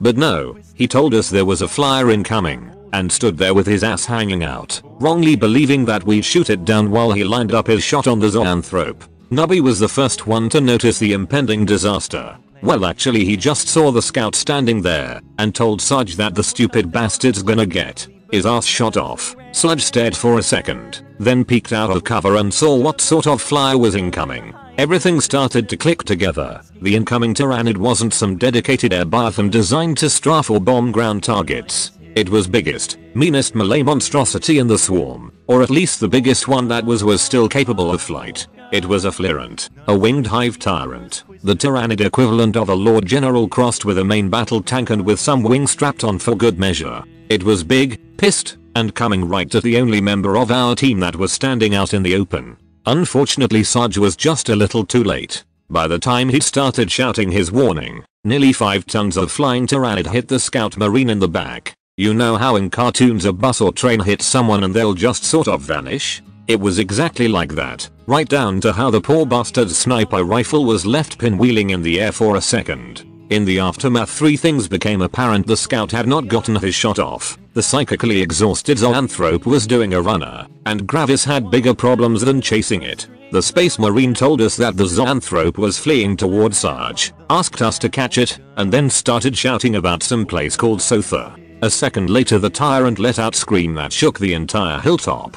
The situation was bad, but it was also, thank the emperor, relatively simple. We had a perimeter to maintain, a hive tyrant to survive, and a zoanthrope to catch. Sarge started bellowing out orders and the rest of us scrambled to follow them. Since we still had all of our mines in place, the perimeter was actually the least pressing issue. Sarge's first order was to fall back towards the top of the hill and let the explosives hold off the smaller tyranids for a while. Sarge then told us he was going after the zoanthrope and sent Nubby to get the scout's trank-loaded sniper rifle. For the rest of us, Sarge's final orders were a little more freeform. Tink was to get his drone on the Hive Tyrant, and the rest of us were told to handle IT seriously. That was his entire master plan. Comma by the Emperor. There's a bloody hive tyrant inside our perimeter. It's killed one space marine and, as soon as it finishes off the other, it'll kill us all. What should we do sir? Comma handle IT. He never managed to live that one down.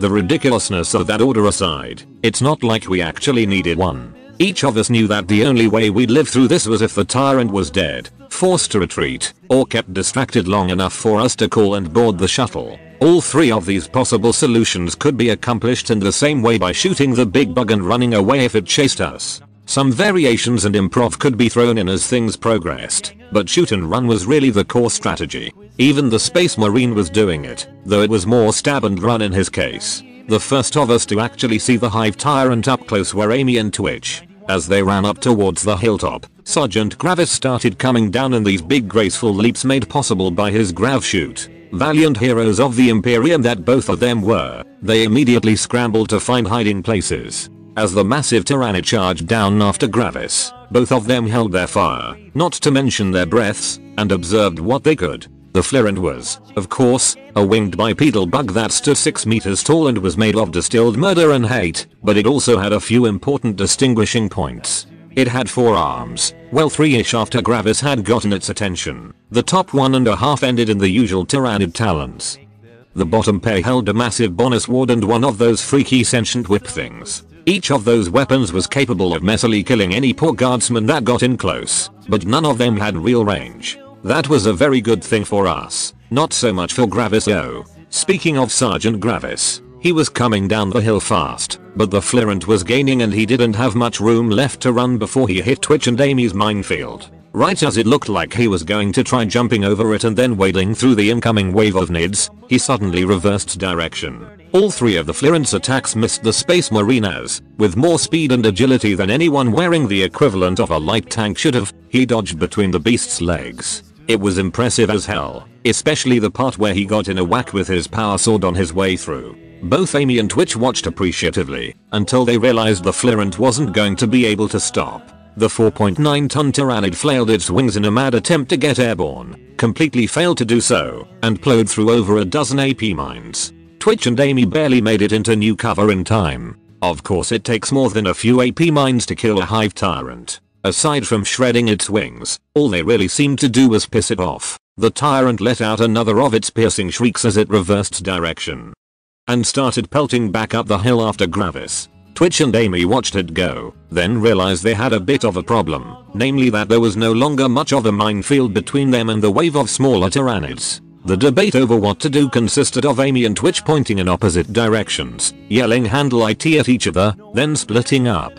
Twitch ran around dropping the last of his mines and spraying fire at the incoming gaunts. Amy sprinted up the hill after Gravis and the Flyrant, hip firing her pulse rifle at the massive target until it crested the hill and she lost line of sight. When Amy reached the top of the hill, she found Sergeant Gravis carefully circling around the enraged Flyrant while Doc and Tink shot it. Like the other two guardsmen, she sighted on the TAU marker thingy spot was projecting on the Tyranid and poured out as much fire as she could. It was beginning to look like the three of them would be able to wear the creature down. Then Gravis botched one of his dodges. The space marine had to choose between trying to block the Flyrant's bonus ward or dying a horrible death, and reluctantly chose the former. For the second time that day, he flew through the air with all the grace and aerodynamics of a thrown brick. Sergeant Gravis ricocheted off one of the stone spires encircling the hilltop, briefly tumbled upwards, then crashed into the dirt directly behind Doc and Tink.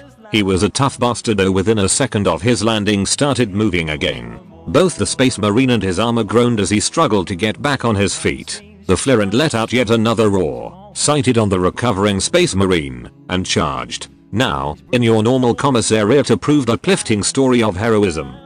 This is where the two stalwart guardsmen would have stood their ground and laid down their lives to buy the wounded space marine time to recover. Then, right after the guardsmen had finished valiantly sacrificing themselves, he would have magically gotten better and killed the vile Xenos. Oh, and then all the orks and tyranids on the planet would have died, and if the whole place would have turned into a garden world that paid all its tithes on time, and there'd be statues of the heroic dead guardsmen everywhere. The warp take those stories, and whoever keeps writing them, and the whole commissariat for that matter. Ever notice how it's always some guardsmen and Never the commissar who dies horribly in the emperor's name. Anyway, Doc and Tink took one look at the charging Flyrant and ran for it. Okay, I realize that sounds bad, but it's not like they ran down the hill and left Gravis to die. They kept firing and ran perpendicularly along the top of the hill in, and I quote the official report here, an attempt to draw the Hive Tyrant's attention away from its target. Anyway, it's not like they would have accomplished anything by standing there, and there was no way either of them could have carried a fully armored space marine to safety. My point is that what happened next was not Doc's, Tink's, or anyone else's fault. And I'll have you know that the Tribunal of Senior Ordos Xenos Inquisitors who reviewed SPOS footage agreed with that assessment. Well, two thirds of the tribunal anyway. So while three of us poured a hell of a lot of plasma into the Flyrant, it closed to melee range with Sergeant Gravis. He parried the beast's whip thing, sidestepped a strike from its single remaining talon, then did that trick where he dodged through its legs again. Whereupon the Flyrant turned, brought its bonesword around at mid-chest level, and cut Sergeant Gravis in half.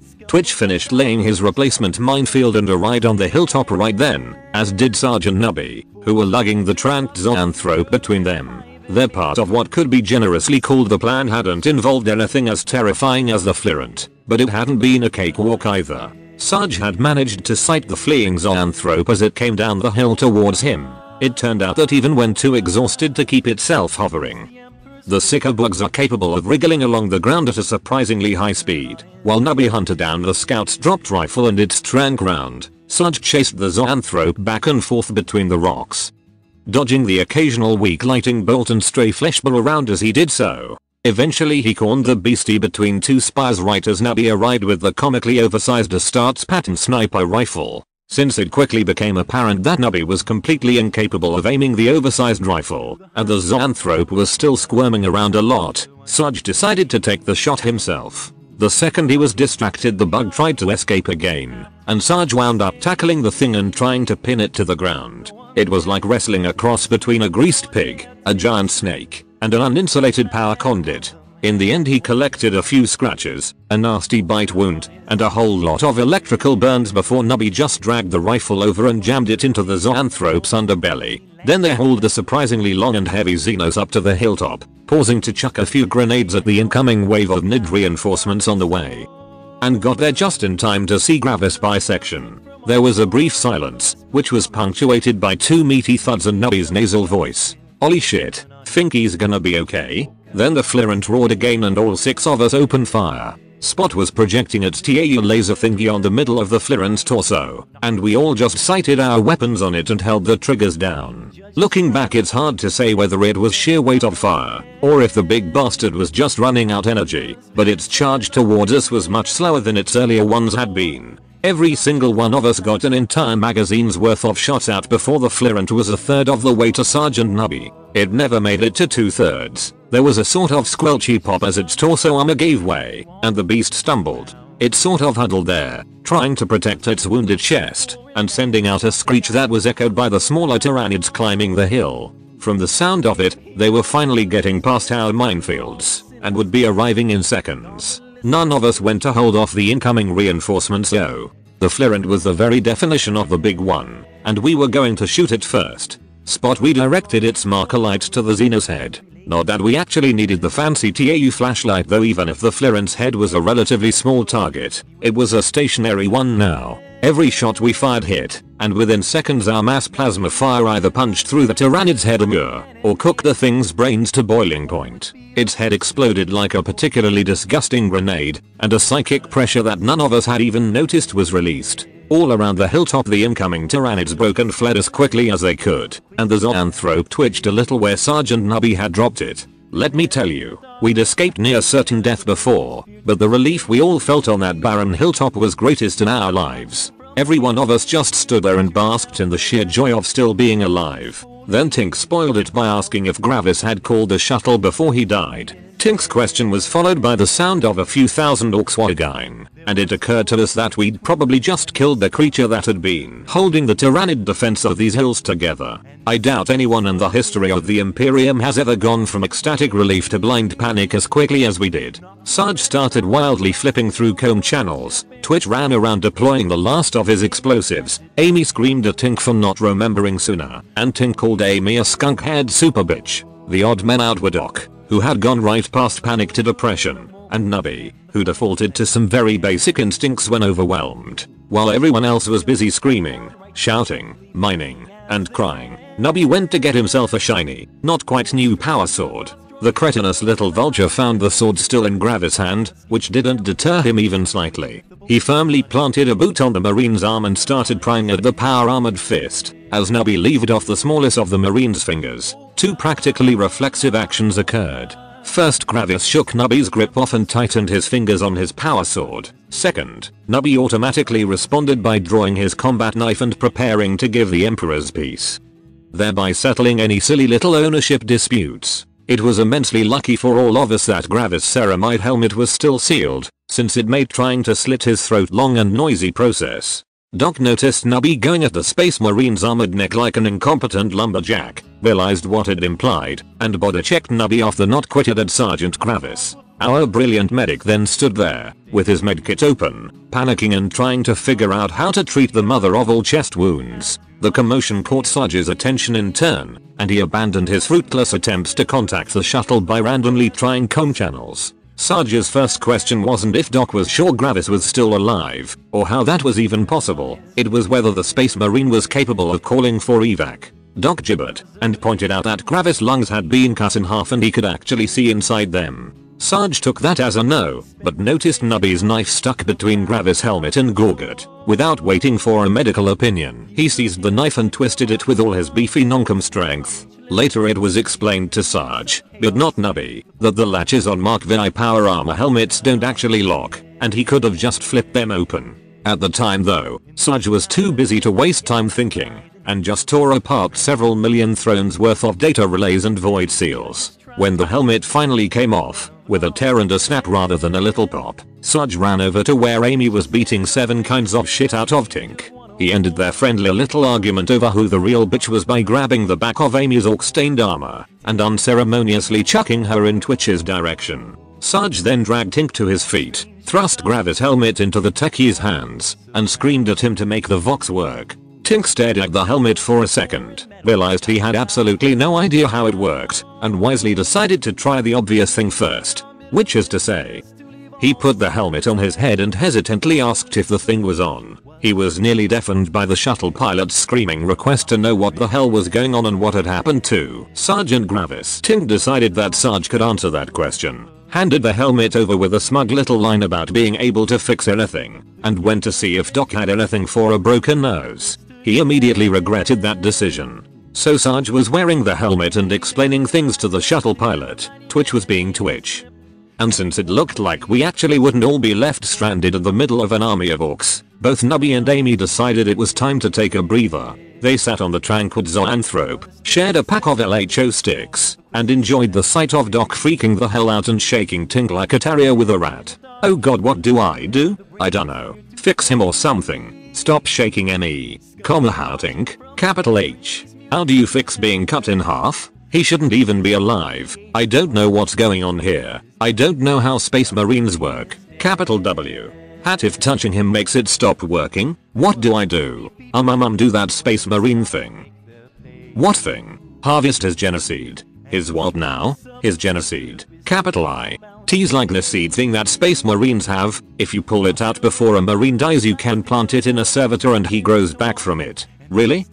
Yeah, they had this whole thing in the last season where brother Captain Marcus the cooperator fell in battle, and the fire warrior rescue team had too. Wait, you mean in your TAU vids? You're basing this off heretical cartoons? They're not cartoons, they're not heretical, and do you have anything better? Shit shit shit shit shit okay what's this gene-seed look like and where does he keep it? Um they had to censor the part where they cut it out, but I think it was like a second heart thing, and it was all green and stuff comma heart thing. So like in his chest? Yay. Right in the middle. Okay. In the chest upper chest or lower chest? I'm upper chest or lower chest? If I'm going to be digging around inside him looking for something green, I at least need to know which end to dig around in. I don't know. Why don't you go check on the scout? The scout marine was pinned to the hilltop's ground a few dozen meters away from where he'd been perching when the flyrant hit him. I'm using pinned quite literally here. He was face down with a tyranid talon the size of a beefy telephone pole through his back. The talon ended in a very neat cut that matched the stump the Flyrant had, which probably explained how Gravis had gotten its attention. Unlike Gravis, there wasn't much confusion over whether the scout was dead he'd started to go runny. It's not like all of him was melting, just a sort of expanding area around where he'd been speared. Said area included both the upper and lower chest though. In the name of medical science, Doc poked at the mushy corpse with a probe, then jumped backwards with a girly shout when it started to hiss and melt too. Emperor, I swear he wasn't doing that earlier. Is this like a space marine thing? Do they melt when they die? You don't think so. Would make it hard to reuse the armor. Beth sure it's a nid thing. Does your big book OSUDA scientific medical bullshit have a section on tyrant bioweapons? Comma um, um, um, tyranid, tyrant, um, um, bonesword, scything talon, toxin sacs. Hunt neat. What's it say? If in fully stocked field hospital laboratorium, Quarantine here. Battlefield instructions. Smear area with counterseptic. Administer oral detox. Scan and apply indicated toxin once. Give plasma. Pray to the emperor. I can do all of those. Wait, like plasma from a gun or a bag? And what about the gene-seed though? Screw your gene-seed. If we can keep him from melting until the shuttle arrives we can ask the pilot. Now take these and go to his bottom half these are pills doc. How do I give a pair of legs pills? How do you think? Oh god, I am not qualified for this. Well neither am I. Now do IT. Doc's panicked medical treatments were of rather dubious usefulness, especially the part where he fed a detox tab to the nearly dead space marine. That stuff is nearly enough to kill you on its own, and it made the big guy flail around and spurred some nasty stuff out the end of his torso.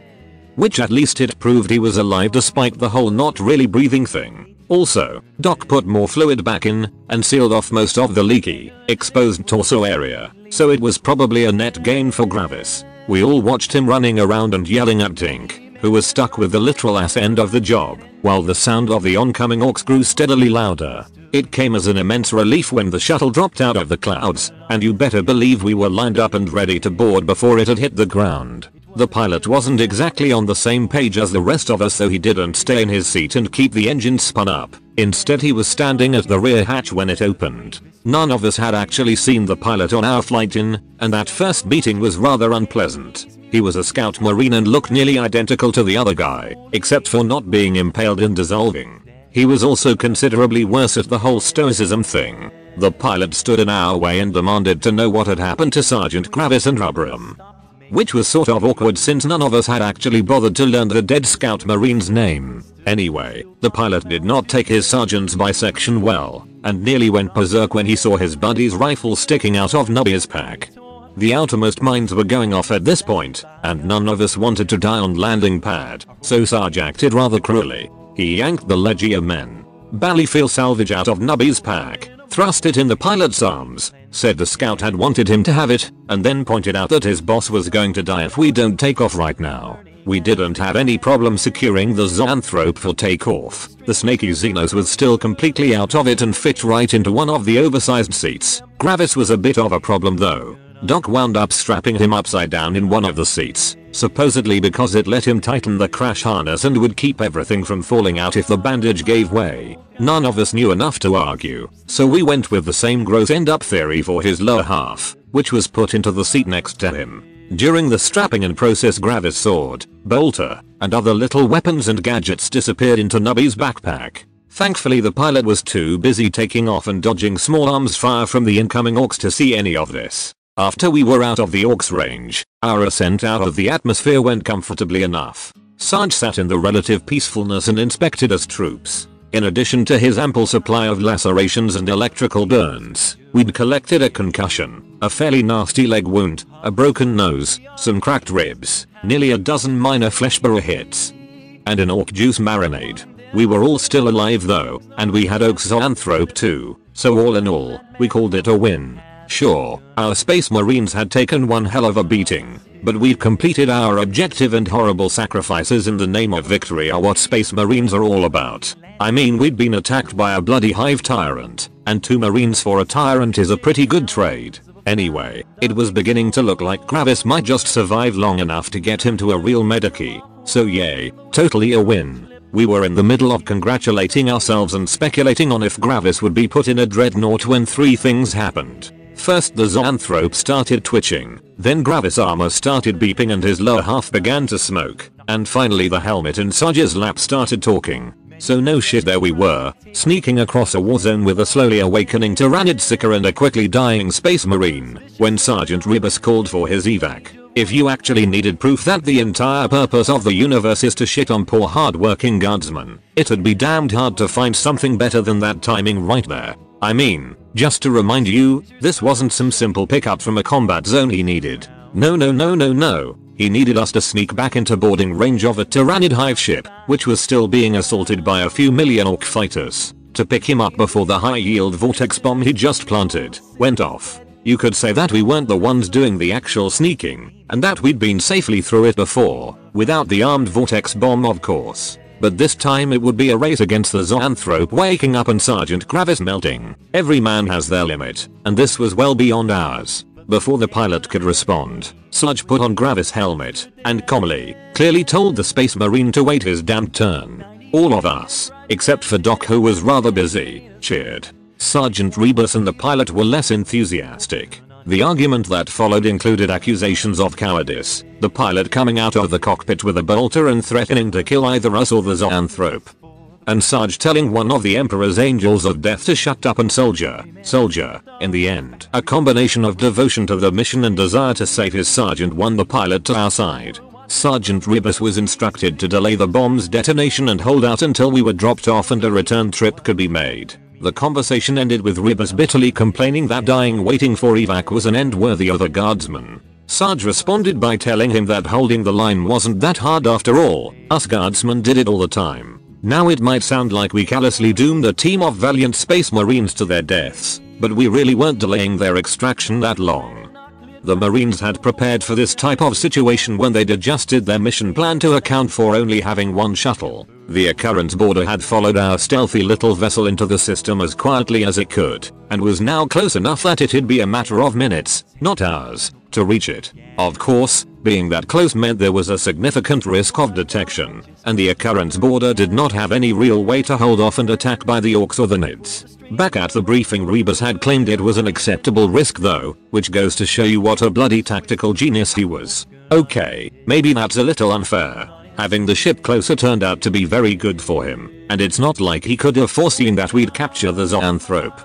But forget to bring along the second dose of that special sick tranquilizer stuff. Though if he's spared the blame, then that means Gravis and his scout deserve a little for not taking the excessively simple precaution of leaving a few spare doses in the shuttle. I mean we were going into extremely hostile territory, why was the scout carrying all the tranks? And why hadn't either of them told us a second dose would be needed? Is Tyranid wrangling some super secret Emperor Scythes only technique? Or did they think that there was no way that we'd survive and continue the mission if they didn't? Well, actually that one is completely understandable. Arrogant as all hell, but understandable. I'm getting ahead of myself though the zoanthrope was a problem later. At the time our big concern was that half of Gravis was dying and the other half was violently decomposing. Once again the task was divided between Doc and Tink.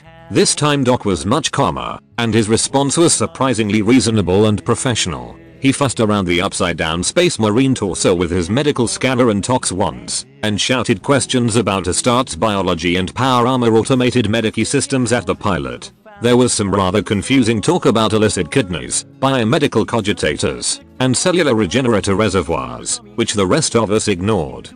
Because Tink's part of the job was a complete shitshow, Whatever was on the Flyrant sword, when it got going, it really got going. Gravis' lower half went from fine to melting from the wound down, in mere seconds. It's hard to say whether Tink's response was best or worst one available, but it was certainly the most disgusting. In an effort to slow down the process, he unbuckled the power armored legs and flipped them upside down. The smoldering bandage immediately gave way and dumped a horrible combination of meat juice, xenos toxins, and extremely powerful acid onto the seat. The smell was beyond vile, and all of us had to put on our rebreathers just to stay conscious, which was lucky considering how many airborne toxins were found in that shuttle when we landed. So after the spillage started dissolving the seat, the rest of us became very interested in helping Tink. Of course none of us knew jack about biochemistry, so we were only able to offer what might be called mechanical solutions to the acid problem, and most of those suggestions were absolutely terrible. In the end we settled on the traditional occurrence border technique of shoving it out the airlock and hoping it needed oxygen and heat to keep doing whatever.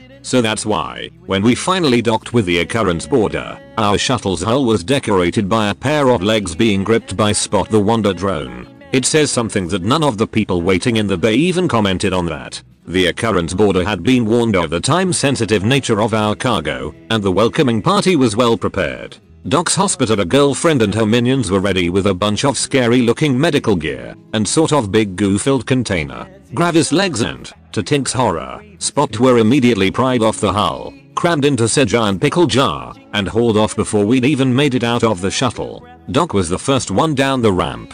With Tink's help he deposited Gravis on a waiting gurney, then turned to his girlfriend and went for a hug and a quick kiss. He didn't get either. Instead she screamed at him to keep his rebreather on hosed him with a chemical sprayer, and then ordered him to go through a full decontamination and meet her in the medbay. Doc stood there and dripped for a second, and then dejectedly jogged after his departing girlfriend. Those of us who weren't struggling to get the zoanthrope out of the shuttle chuckled at this, at least until a pair of sprayer-armed minions started hosing us as well. We'd all been thoroughly soaked by the time we got Zoanthrope out of its seat and loaded onto the cargo trolley Hannah had waiting for us. The sprayers then moved on to hosing the shuttle's interior, but before they could get much done the rear hatch slammed shut and the engines kicked back on. In clear violation of all safety procedures, the pilot rocketed out of the bay before we'd cleared the area. As he left, the pilot calmed us and promised vengeance if Gravis didn't survive, and from the helmet Sarge was still carrying we overheard him giving his ETA to Sergeant Rebus. We silently wished him luck, then turned to the serious business of getting our zoanthrope stored in the psyker containment cells. The Zoanthrope hadn't been any trouble during the unloading process. That was because it had come almost fully awake while we were still 10 minutes out, and we'd had to do something about it. Initially we'd hoped that this far away from other tyranids in the hive ship, it'd revert to being a dumb beast. Acting on this theory, when the Zoanthrope started clawing at its straps and manifesting small bolts of electricity, Sarge attempted to establish superiority by punching it in the snout. That did not work. Plan B was to hit it with one of the guard issue trank and painkiller syrettes from Doc's kit. It's not like he was using them anyway. When that didn't work we went with plan C, which was to keep applying plans A and B until they did work. After a fair amount of punching and enough tranks to kill three men, the uppity Xenos Psyker finally went back to sleep. Disturbingly though, the shuttle was still filled with little snaps of static, and we all felt a sort of ominous pressure in the air. We tried to call the xenologist adept back on the ship and get his opinion on that, but our comms had a surprising amount of trouble, so we settled on asking him to meet us in the bay. The adept was waiting next to Hannah, and as we loaded the zoanthrope onto the pallet, he took note of the minor phenomena as well as the empty syrettes that we'd left sticking in the Xenos. After processing this for a second, he began yelling at us to go faster, which was immensely unhelpful, since we were all outrunning him until he got on the pallet himself. The part where he called ahead to warn the psyker cells and ask Fumbles to meet us halfway was more useful though, so we forgave him. Picture, if you will, a cargo pallet racing down the corridors of a spaceship. It is occupied by a large, unconscious Xenos that looks like a cross between a snake and a fetus, a slightly overweight man in robes, and a guardsman with an injured leg. The guardsman is holding a wrench that is connected to a random tangle of wires which has been hung over the Xenos. As the pallet races along, he is using the wrench to ground increasingly large burst of inexplicably green electricity against the floor and walls. Behind the pallet are a terrified looking tech priestess and a burly guardsman who looks like he'd recently crawled through a burning razor blade factory. Both of them are pushing the pallet as fast as they can through the maze-like series of corridors that make up the ship. Every twist and turn requires a frantic effort to change the heavy pallet's direction, and occasionally one of the pushers will misjudge, slam into a wall or door frame, and then have to scramble to catch back up. A fair distance ahead of the pallet are two guardsmen, one is wiry and wreathed with explosives, the other is short and lugging a backpack pack near to bursting. They're screaming at people to get out of the corridors, applying indiscriminate force when necessary, and opening the various doors and hatches the pallet needs to go through. A little bit behind them is a Guards woman who could be defined as regal looking if she wasn't completely filth encrusted. She is pausing at corners and relaying upcoming direction changes to the pallet's pushers. So, this parade of panic made its way through nearly half a kilometer of ship corridors, trailing confusion and technical failures behind it. But it didn't really get bad until right at the halfway point, when Fumbles suddenly stepped out of a side hatch and into the path of the onrushing pallet. A second later he was face down on top of the zoanthrope, clutching his badly bruised shins, and screaming at the top of his lungs. Not being a psyker, I can't really say what Fumbles did during that mad scramble from our perspective he just sort of laid there and gibbered, and later on he claimed not to remember any of it. He was probably doing something really important, like keeping the zoanthrope from doing stuff while it was unconscious or hiding us from the hive mind. Chances are that without him doing his thing, we would have died horribly before we got to the holding cells. We didn't really appreciate that at the time though all we noticed was how immensely inconvenient Fumbles made the rest of our journey. After Fumbles arrived, in addition to the electricity thrown off by the sleeping zoanthrope, we had to deal with freak indoor snowstorms, a few instances of spontaneous gravity reversal, and all sorts of creepy noises and visions. On two occasions the effects were so bad that Sarge considered dumping the accident prone Psyker off the pallet and leaving him behind, but the Xenologist Adept insisted that he stay. Luckily, Hannah's augmetics didn't take that long to start working again after they spontaneously locked up. And the minor demon only made in 3 steps before a combination of pulse fire and what might be called a power wrench turned it into chunky salsa. Despite all the complications, we made incredibly good time on our mad sprint, covering something like a kilometer in just under 6 minutes. That wasn't quite fast enough though. We'd reached the final stretch and could see Jim holding the door open when the ominous sort of psychic pressure we'd been feeling suddenly ratcheted up. As the pressure mounted, Fumbles gibbered something like it sees, it knows, it hungers, and then the entire corridor filled with a torrential downpour of blood. Everything slowed to a crawl as the first drop of blood hit Sarge's face. Memories of two Psykers and a cargo bay flitted through his mind, and he slowly began to reach towards Fumbles. Then everything exploded. There were actually two explosions. The first was a sort of psychic concussion. For a second the rain of blood paused in midair, then there was a crack of energy, and a wave of force radiated outwards from Fumbles. It was strongest at its epicenter and all three of the pallet's human passengers were thrown off. Tink and the adept both slammed into the corridor's walls while Fumbles flew upward, inexplicably stuck to the ceiling for a second, then flopped to the floor with an unpleasant splash. Behind the pallet, Sarge saw the wave coming and rather gallantly pushed Hannah behind him. This did not have the intended result. The wave hit Sarge and over a hundred kilos of psychically propelled Nonkum slammed into Hannah. This in turn resulted in both of them tumbling backwards and landing in a heap, unfortunately with Sarge on top, nearly crushing the poor cog girl. He probably would have died of embarrassment if it weren't for the fact that all five human projectiles were left unconscious by the blast. The final effect of the psychic concussion was to blow out all the lights in the corridor. Twitch, Nubby, and Amy activated their shoulder mounted lights and watched through the rain of blood as the pallet sloshed to a halt. The three of them held position and kept their weapons trained on the zoanthrope until Jim shouted Hannah's name and began to run past them. Nubby casually stuck out a foot and tripped the panicked cogboy, then followed Amy and Twitch as they began to move towards the pallet. Their cautious advance had nearly reached the pallet when the zoanthrope suddenly jerked into the air. It hung there for a second, like some sort of horrible giant puppet being held up by tangled strings. Then a second explosion shook the entire ship, the world went green, and Amy started screaming. It was a bit of a surprise to find ourselves alive after that. Nubby and Twitch stood there in the ankle deep blood, shielding their eyes against the bright green light and watching Amy. Who was screaming and wildly firing her pulse rifle at the zoanthrope's glowing energy shield. Guardsmen that they were, both of them quickly raised their own weapons and started firing as well. But after a few seconds they noticed that something was weird the zoanthrope wasn't fighting back. There were no lightning bolts or soul-rending screeches, and on closer inspection it didn't even appear to be awake. Of course, it wasn't until Theo came out of where he'd been hiding in the cells, helped Jim to his feet, and asked whether the plan was still to capture the zoanthrope alive. That they considered not shooting the Xenos. Everyone except Amy, who was too busy hysterically shooting at the zoanthrope to talk, put their heads together to figure out what to do. While the zoanthrope may not have been attacking, the psychic pressure had gone from ominous to outright painful, so the debate was a very short one. The second a halfway reasonable suggestion was put forward they all leapt into action, though Twitch and Nubby both bitterly complained that it was the non-human who made the plan. Well, plan is a grandiose term. They wanted to get the zoanthrope into the cells, but no one wanted to touch the sparking green shield, so Theo had made the stereotypically TAU suggestion of using drones.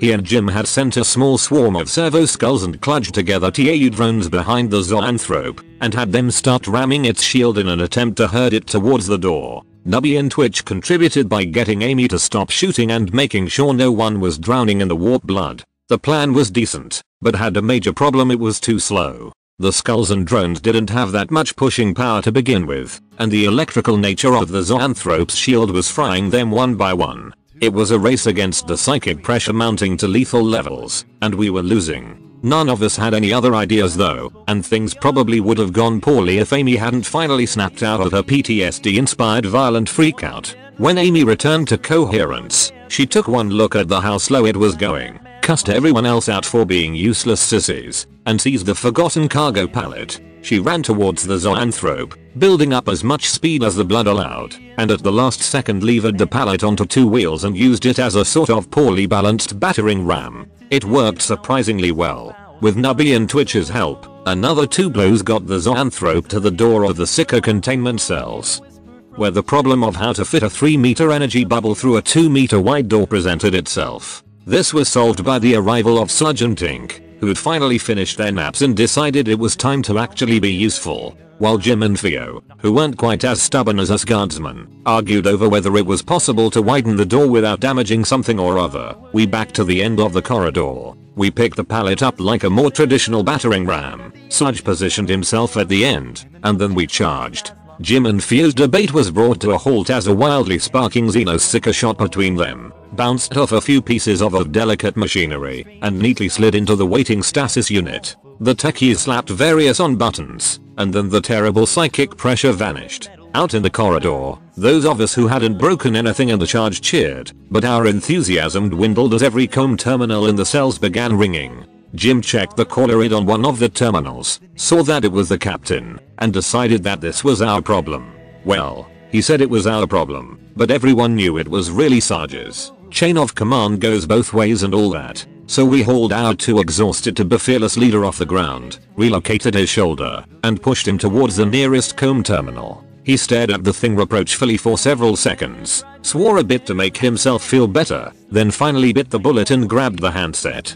All of us listened in as Sarge answered the call, both because we were curious, and because the captain was yelling so loud that it was impossible for us not to. The man in charge of flying us through the void, who sounded both furious and terrified, had a few questions for us. Specifically what in the Emperor's name we'd done, why his navigator was hysterical, why his astropath was dead, and why two hive ships were heading towards US. Let me tell you, nothing ruins the taste of victory quite as thoroughly as hearing about how much collateral damage there was. Anyway, Sarge dealt with the captain by holding the handset out at arm's length and waiting for the man to run out of breath. When his chance came Sarge told the captain we had the cargo secure, then promised to come up to the bridge. While he did that, the rest of us wearily speculated on just how screwed we were, and collected our teammates from the blood-filled corridor.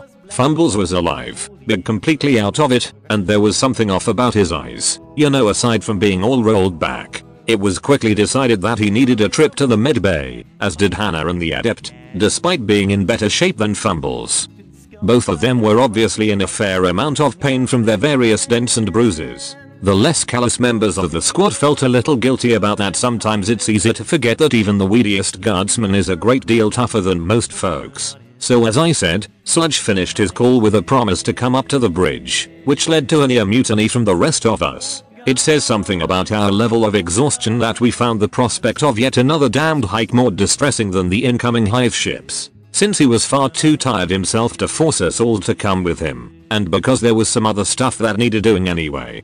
Everyone but Amy who turned out to be terrible at rock paper scissors was excused from that trek. Nubby and Twitch were tasked with taking fumbles, the adept, and Hannah to the medbay on the massively dented cargo pallet. Tink wanted to join the medbay group, both to get patched up and to retrieve Spot, but Jim and Theo needed his help with something technical sounding, so he had to stay. Hannah wound up promising to save his drone from whatever horrible medical things were being done to it, and to send it down with whoever was going to clean up the giant warp blood puddle. Sarge and Amy arrived on the bridge, where they were surprised to discover that they were not the only ones covered with blood. The communications officer's front side had a nice coating of red, with a few white and grey chunks mixed in. It turned out that when the captain said the astropath was dead, he meant really dead. Anyway, the captain was up on his podium doing captainy things. When he saw Sarge and Amy, he paused from yelling at people and spared all of 10 seconds to tell Sarge that there were now 3 hive ships incoming. He had absolutely no intention of letting them get into firing range, and we'd be leaving just as soon as the warp drive finished warming up. After that, Sarge would explain just what his dirtsuckers had done to the ship. As the captain went back to yelling at subordinates, Sarge digested the new information. After a few seconds, Amy realized he was stuck and performed the single duty she'd been brought along for.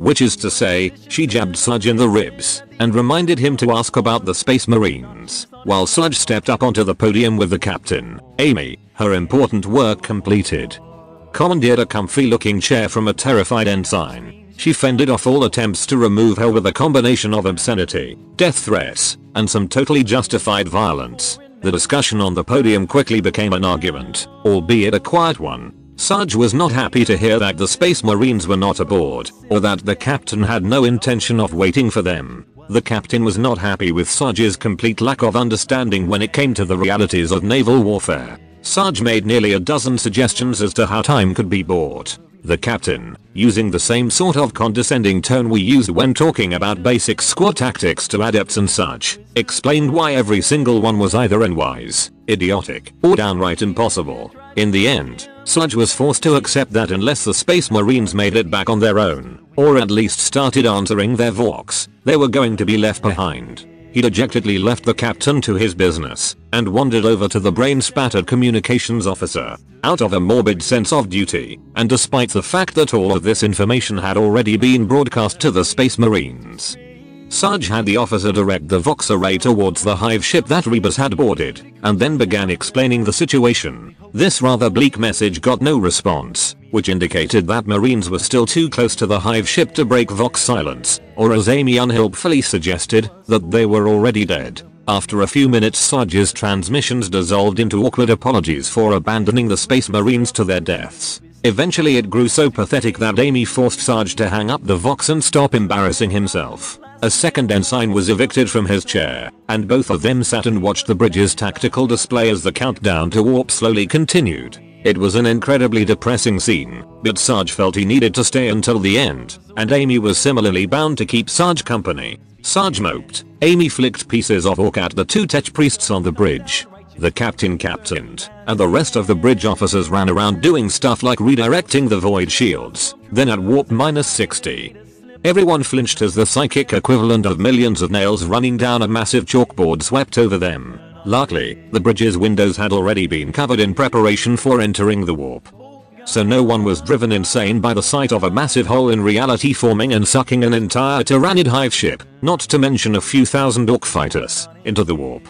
In the confusion of prayers and curses that followed, Sarge noticed the Vox station chiming. Sarge nearly strangled the communications officer as he yanked the praying man up off the floor and back into his seat. After a few seconds of button pressing from the officer and unhelpful yelling from Sarge, the Vox station spat out a piece of paper. Sarge snatched the paper and scanned the three lines of text on it. The only one that made sense was do not let us be forgotten, Sergeant Rebus, but that was enough for Sarge.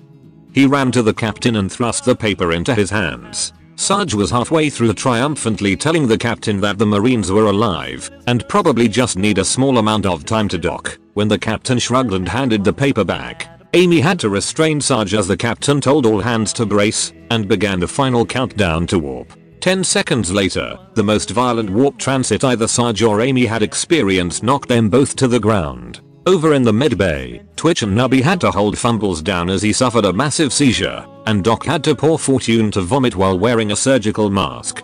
Down in the psyker holding cells, Tink was knocked on his ass as a few overstressed pieces of equipment underwent rapid and planned disassembly. As Jim hauled him back up, Theo poked his head out and asked if that had been the warp jump, because the psychic pressure of the hive mind wasn't decreasing. The ensuing argument over whether Theo actually knew how to read the exterior psychic activity display was interrupted by a bolt of green lightning. Back on the bridge, the captain explained that the first two lines of the Space Marines message had consisted of an astropathic contact code and an orbital vector. The code would probably reach some Emperor's Scythe's battle barge, and with a vector they'd be able to jump in and pick up their stranded battle brothers. It'd probably take a few months, but Marines were supposed to be very patient about that sort of thing. Sarge accepted this without argument, mostly because he was too tired to get back up. Unfortunately, Sarge wasn't allowed to just go to sleep on the floor of the bridge. It wasn't that the captain or any of the other bridge officers objected. After the explanation he'd become preoccupied with some unexpected hive ship shaped blip on the scanners. Instead the problem was a very annoying voice on his combed. Tink, who was talking with the speed of someone that had just been dosed with stim, had a few questions about just what the hell was going on. Sarge was forced to get up off the comfortable floor and explain that the big spike of warp energy had been the vortex bomb. No one had known the jump would be that bad. And the hive mind's continued presence probably had something to do with the remains of the vortex at hive ship floating next to us in the warp.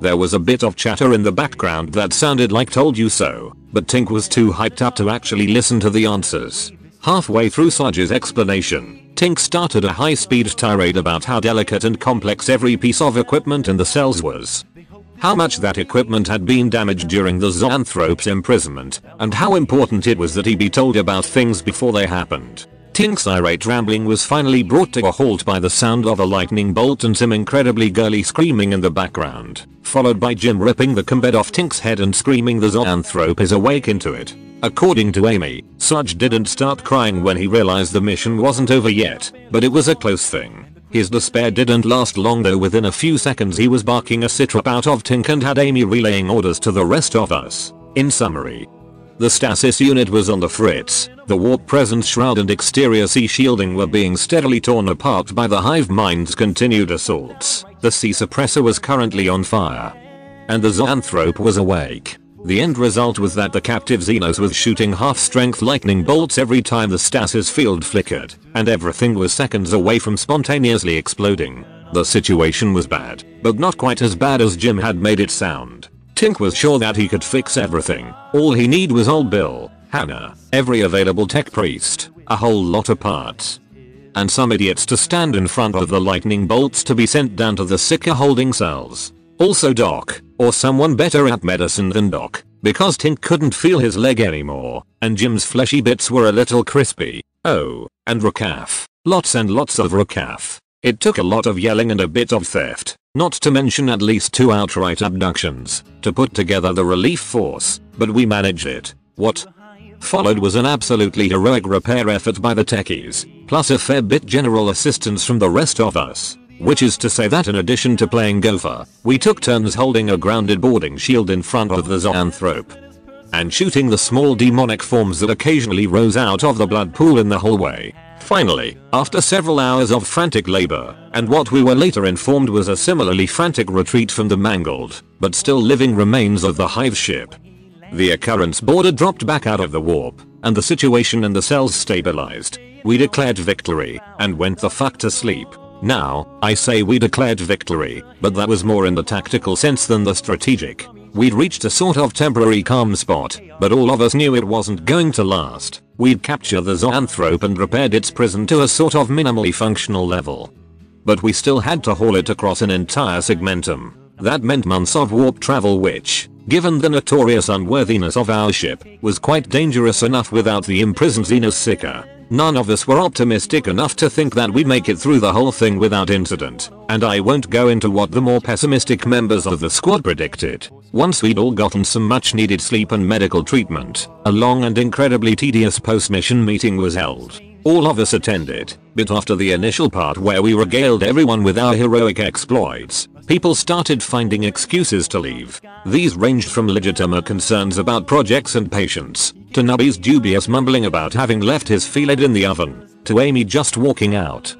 But eventually everyone but Sergeant Jim escaped. In the end it was just them, the captain, the adepts, and a few of the ship's officers, planning out the whole mad voyage, while the rest of us slouched around the medbay. Our continuous presence in the medbay wasn't really appreciated. The hospitaller didn't really mind us, but her minions made several pointed comments about how nice it would be if some of us, specifically Nubby and Twitch, went back to our quarters. We ignored them though, it's not like we didn't appreciate our quarters, we just wanted to stick together, and both Doc and Fumbles were more or less stuck in the medbay. Luckily, Doc wasn't stuck in the medbay because he'd been badly hurt. His girlfriend might have done horrible medical things to us if he'd been nearly crippled again. In fact, Doc was doing better than the rest of us were, primarily because he'd missed out on that shit show in the cells.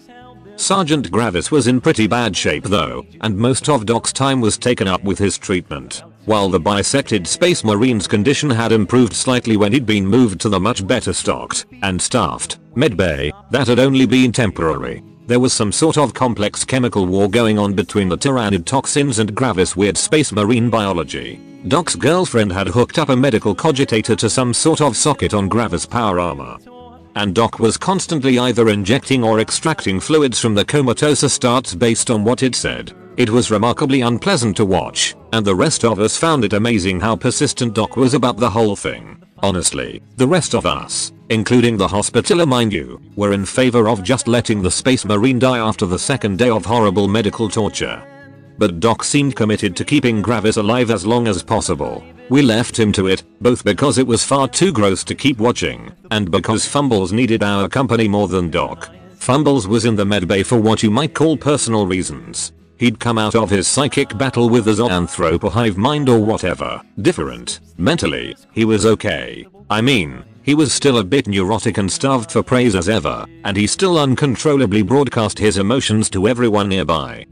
But aside from that and not remembering anything from the fight, he was fine. The problem was his eyes. At first they just looked odd, and he was mostly blind, but over the few days we rested in normal space they sort of grew and changed. Now, none of us wanted to use the M word, even if he was a psyker to begin with, but that was the sort of stuff you're supposed to tell the commissar about. I mean his eyes got to the size of a bloody fist. Well, maybe not Sarge's fist, but definitely as big as one of Doc's girly hands. Anyway, that wasn't all. His pupils got all weird too at their smallest they were as wide around as your finger. Plus they sort of shined a bit, and they didn't always stay circular. It was creepy as all hell, let me tell you especially because his eyelids didn't grow, so he couldn't even properly close his eyes. Creepiness aside though, the eye thing was amazingly unpleasant for fumbles. For one thing, they didn't fit in his head properly and there was all sorts of painful pressure building up. Then there was how sensitive they were anything but the dimmest light blinded the poor guy, and he couldn't even see that well in the dark since the skull pressure thing kept him from focusing. He wound up hiding away in one of the private treatment rooms, with all the lights off and the windows shut, radiating misery. It was all we could do to take turns trying to make him feel better, and matters were not helped by the way the hospitaler initially reacted to the situation. I mean Doc's girlfriend didn't go all purge the unclean, but after it became obvious what sort of shit was going on, she began studiously ignoring fumbles. That was especially rough on the little guy, you know being a telepath and all. Luckily, Doc stepped in, and he got some help from our old diplomat adept too. They sat down with her. And a few hours later she came into Fumble's room muttering to herself about it being just another wound suffered in the Emperor's service. Nubby and Twitch were initially distrustful of the change of heart, but she let the more hygienic of the pair stay to observe, and some medically approved skull cracking and eyelid stretching later.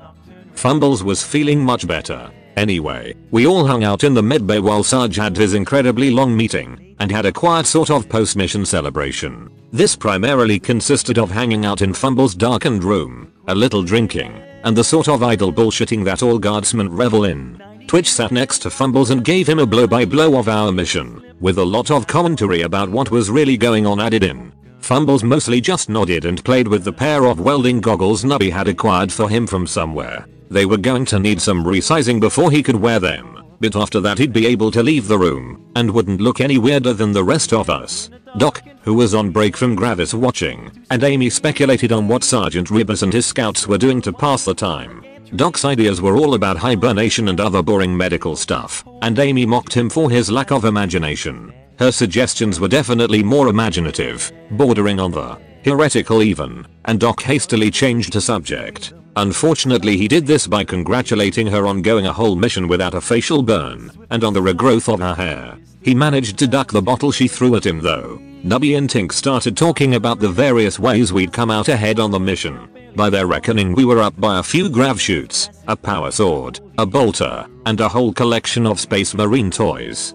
not to mention the moderately damaged stealth shuttle that was still waiting for us to get around to repairing it. Tink was beginning to speculate on whether Gravis really needed the bottom half of his power armor, and what he could make out of it if he had the time. When Sarge finally returned from his planning session, after automatically flipping the lights on, blinding fumbles, then hastily turning them back off, Sarge grabbed a seat and told Tink to stop contemplating tech heresy. All of us watched him as he grabbed a bottle, leaned back, and eyed Tink a little more. In an idle sort of way, Sarge asked us a purely hypothetical question.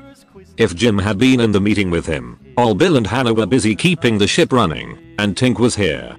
Then who was down in the cells keeping everything running and watching the zoanthrope? The only answer he could think of was Theo, which couldn't possibly be right.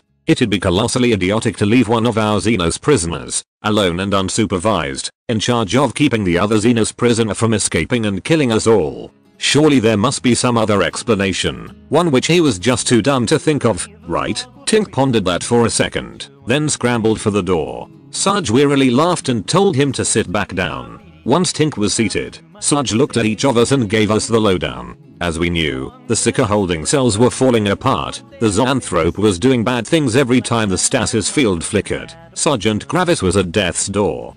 And our ship's astropath had suffered a severe case of exploding head. We had no choice but to get back into the warp, but we were going to head for the nearest civilized imperial world first. From there we could order some replacement parts, get a new astropath, call for the marines pickup, and hand Gravis over to someone with serious medical facilities. It was going to be a rough, and we'd have to stand constant guard against warp shenanigans, but luckily it would only take a week. Just one week of frantic jury rigging, dealing with whatever the zoanthrope and the warp could throw at us, and keeping Gravis from melting, then it would all be over. Honestly, looking back, I have no idea why any of believed it was going to be that easy.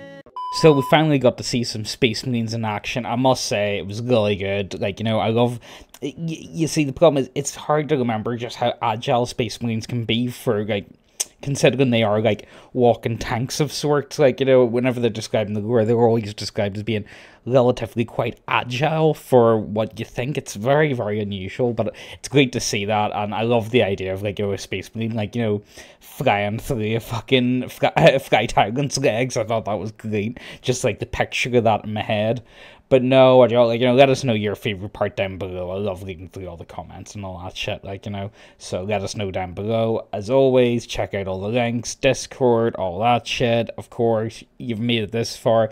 You probably already got the notification bell on, like you know, because let's face it, you're staying up to date with the old guard story. It's a great story, and like you know, we've been. It's this is like what part twelve is it?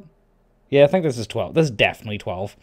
But, like, you know, come on here. We're this far in. If you haven't hit the notification bell, you're mental. And if you are here this long and I'm rambling on about hitting the notification bell, just, just it's over, mate. Wait for the next one. You're sweet. Like, you know, it'll probably be out sometime next week. We'll just see. Alright? If you haven't already, check out my Redbubble portfolio. You might just find something you like. This, this is, is not okay. This needs to stop now. This is cancer. This, this is so much cancer that I can feel the tumors growing on my back. And it's way down heavy on me, and it's not okay. Can you help a nigga out and just stop this? Please?